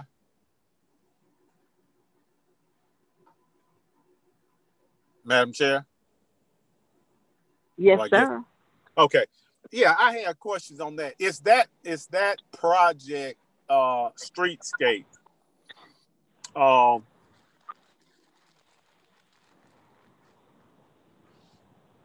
my question, first question is hold on, let me get my thing. Is that something that's gonna go along with uh with with Strata or it's just streetscapes design? That's that's one. Is it gonna go along with Strata? And two, uh maybe one, why wasn't this particular project bidded out? That would be to um, Councilor Matthews. That would not be a question for me. That I would be a question for. Oh, okay. Thank you. I wasn't I thought you was asking me. That would be a question for Mayor Gulley and or Mr. Gilbert. Um, ma'am. Uh, uh, uh, uh, uh, Ma- Madam President, um, Yes, sir. uh, n- um, no, this, uh, th- this will, this will not uh, be independent of stock, Councilor Matthews. Okay. Uh, if you recall, uh, streetscape, um, along, um, on Third Avenue, right there, uh, uh, in front, from Third Avenue to Seventeenth and, uh, to, from, um, Eighteenth to Nineteenth Street, I'm sorry. Uh, how, how that, lighting in, in, in concrete and, benches had, uh, been improved along, uh, uh, uh, along that area and stuff right there. Uh, uh, what this proposes to do is a continuation of that. This is a, this is an 80-20 uh, uh, uh, grant. Uh, I'll let Ron and stuff talk to, uh, speak to the specifics and stuff of it. Uh, but uh, no, sir, it does not. Uh, uh, uh, it's independent and stuff of Strata. And uh, Councilor Matthews, is Ron Gilbert. What that will be is that is the agreement between the city of Bessemer and the state of Alabama. So once um, once uh, council approves, if council approves this, the funding will be set up, and then the plans will have to be done. It'll have to be bid, and once it's bid, then that will come back to council for approval. before the construction begins. Um, so this is just the first step in that process, but we were, the city was awarded those TAP funds through ALDOT and the MPO. And this Oh. is that agreement that the state requires. Okay, that's the agreement that the state requires, and those uh, uh, listing of engineers and the fees and all of that. That would uh, be something that the council has to vote on after the fact. Am I correct? Uh, what I was talking about was the construction contract. So okay, what, yeah, what I'm talking about the actual document that we received, and I'm asking my my question is why wasn't that bidded out? professional services, Councilor Matthews, are not are not bid out. Yeah, I mean, I know if it's a professional service, it's not, it don't have to be a professional service, does it? I'm not sure I understand your question. If it's a, there's two parts to it. One is you got to do the engineering plans. You got to prepare those plans. Those plans got to be approved through the state. They're bid in accordance to state law. Once they're bid, the contractors that's on that list would that's the state approved contractors would uh, would bid on it, and then the low bidder would be brought back to council for approval to enter into a contract. And what's the ceiling on what what could that what could that range to that that professional service contract? It could be in the tune of what? Talking about dollars. It normally runs somewhere in the six to eight percent range for um, six to eight percent range for the actual plan preparation, and then once the contract is bid, then uh, a part of the CE&I services would be in there, and that would be probably in a range of thirteen to fifteen percent of the contract amount.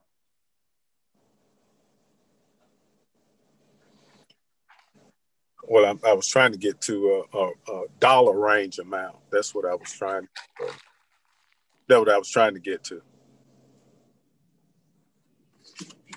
I guess what I'm asking is that professional service contract agreement could be how much or see. approximately. Sixty-five to seventy thousand dollars, probably somewhere around sixty-eight for that project.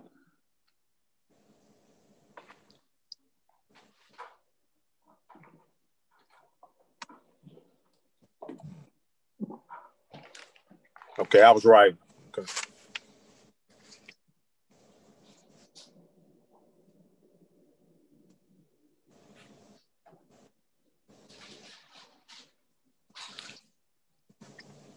Okay, that, that ends my question.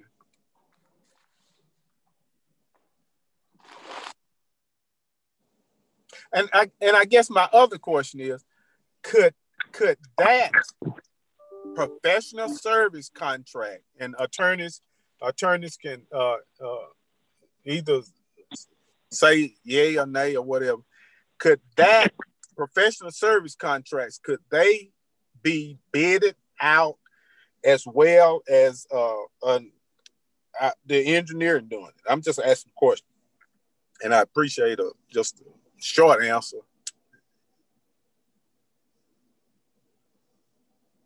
I don't guess no attorney on the phone. No, I'm, uh, this is Shan. I'm here. I was waiting for Mr. Harris if he had a comment, but I'll be happy to give you one. The state law does not require professional service agreements to be bid. That's the short answer.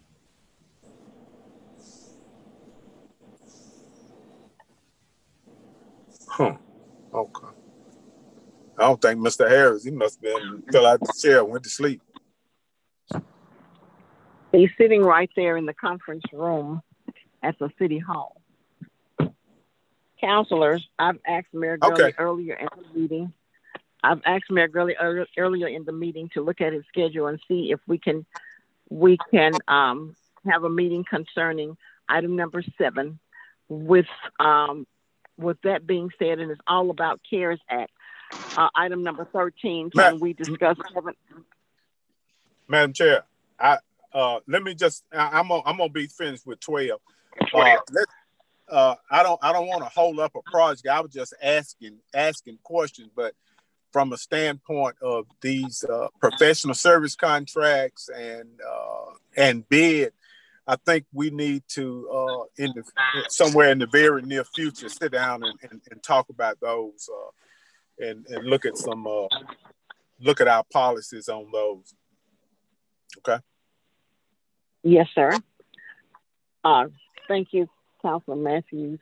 Councilors, uh, with item number 13, since it and seven are are all COVID, uh, I've asked, I will ask the council if we'll consider doing item number 13 and 7 in our meeting this week. Is that okay with the council? Um, yes, ma'am. Yes, ma'am. Hello. Attorney Harris. Yes, Council, can you hear me now? I can hear you. Yes, I'm sorry. Uh, your question was again? I was. Councilor Matthews had posed a question for um, either of the council, uh, the attorneys to answer. And I think Attorney Payton answered the question. Yeah, he answered. Uh, yeah, he did. I believe I heard him. Uh, he did answer the question, and this was regarding whether professional services have to be bid. And and uh, uh, Ms. Payton opined that uh, uh, that does not have to be bid, and he's right. Alabama law doesn't require it. It's not required, but uh, as to whether someone wanted to take some bids or or that that would be a different thing. But it's not required by law to sort of do. That's my understanding.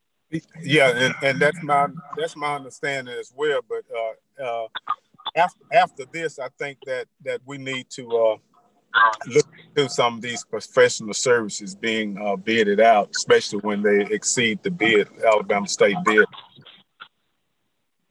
That's all I have, Madam Chair. Well, that okay. Council uh, President Donald, may I speak? Just a minute. Um, yes, sir.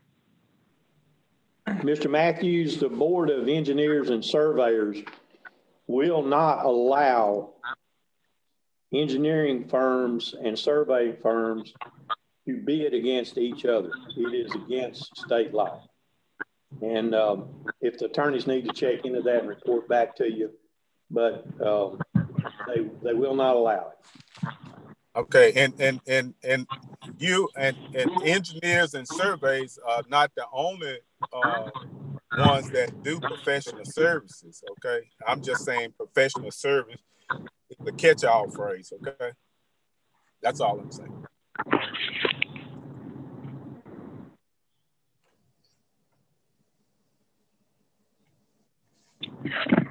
Are you finished, Councilor Matthews?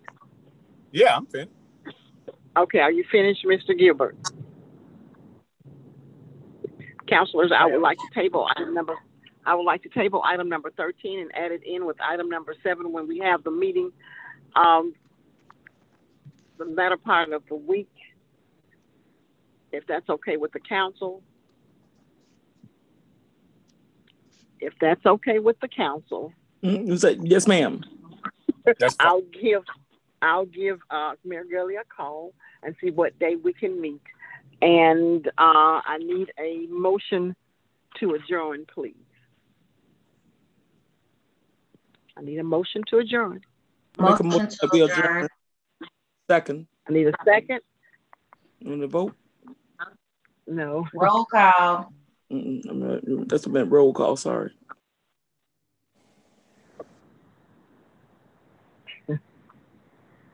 Miss Taylor, are you on the line? Okay. Roll call. Councillor Alexander. Aye. Councillor Crusoe. Aye. Councilor Matthews, Aye. Councilor Donald. Aye. Six ayes, no nays. The motion carries. Thank you, counselors, for your time and have a great week. You'll hear from me hopefully by tomorrow. Have a great day now. Bye bye.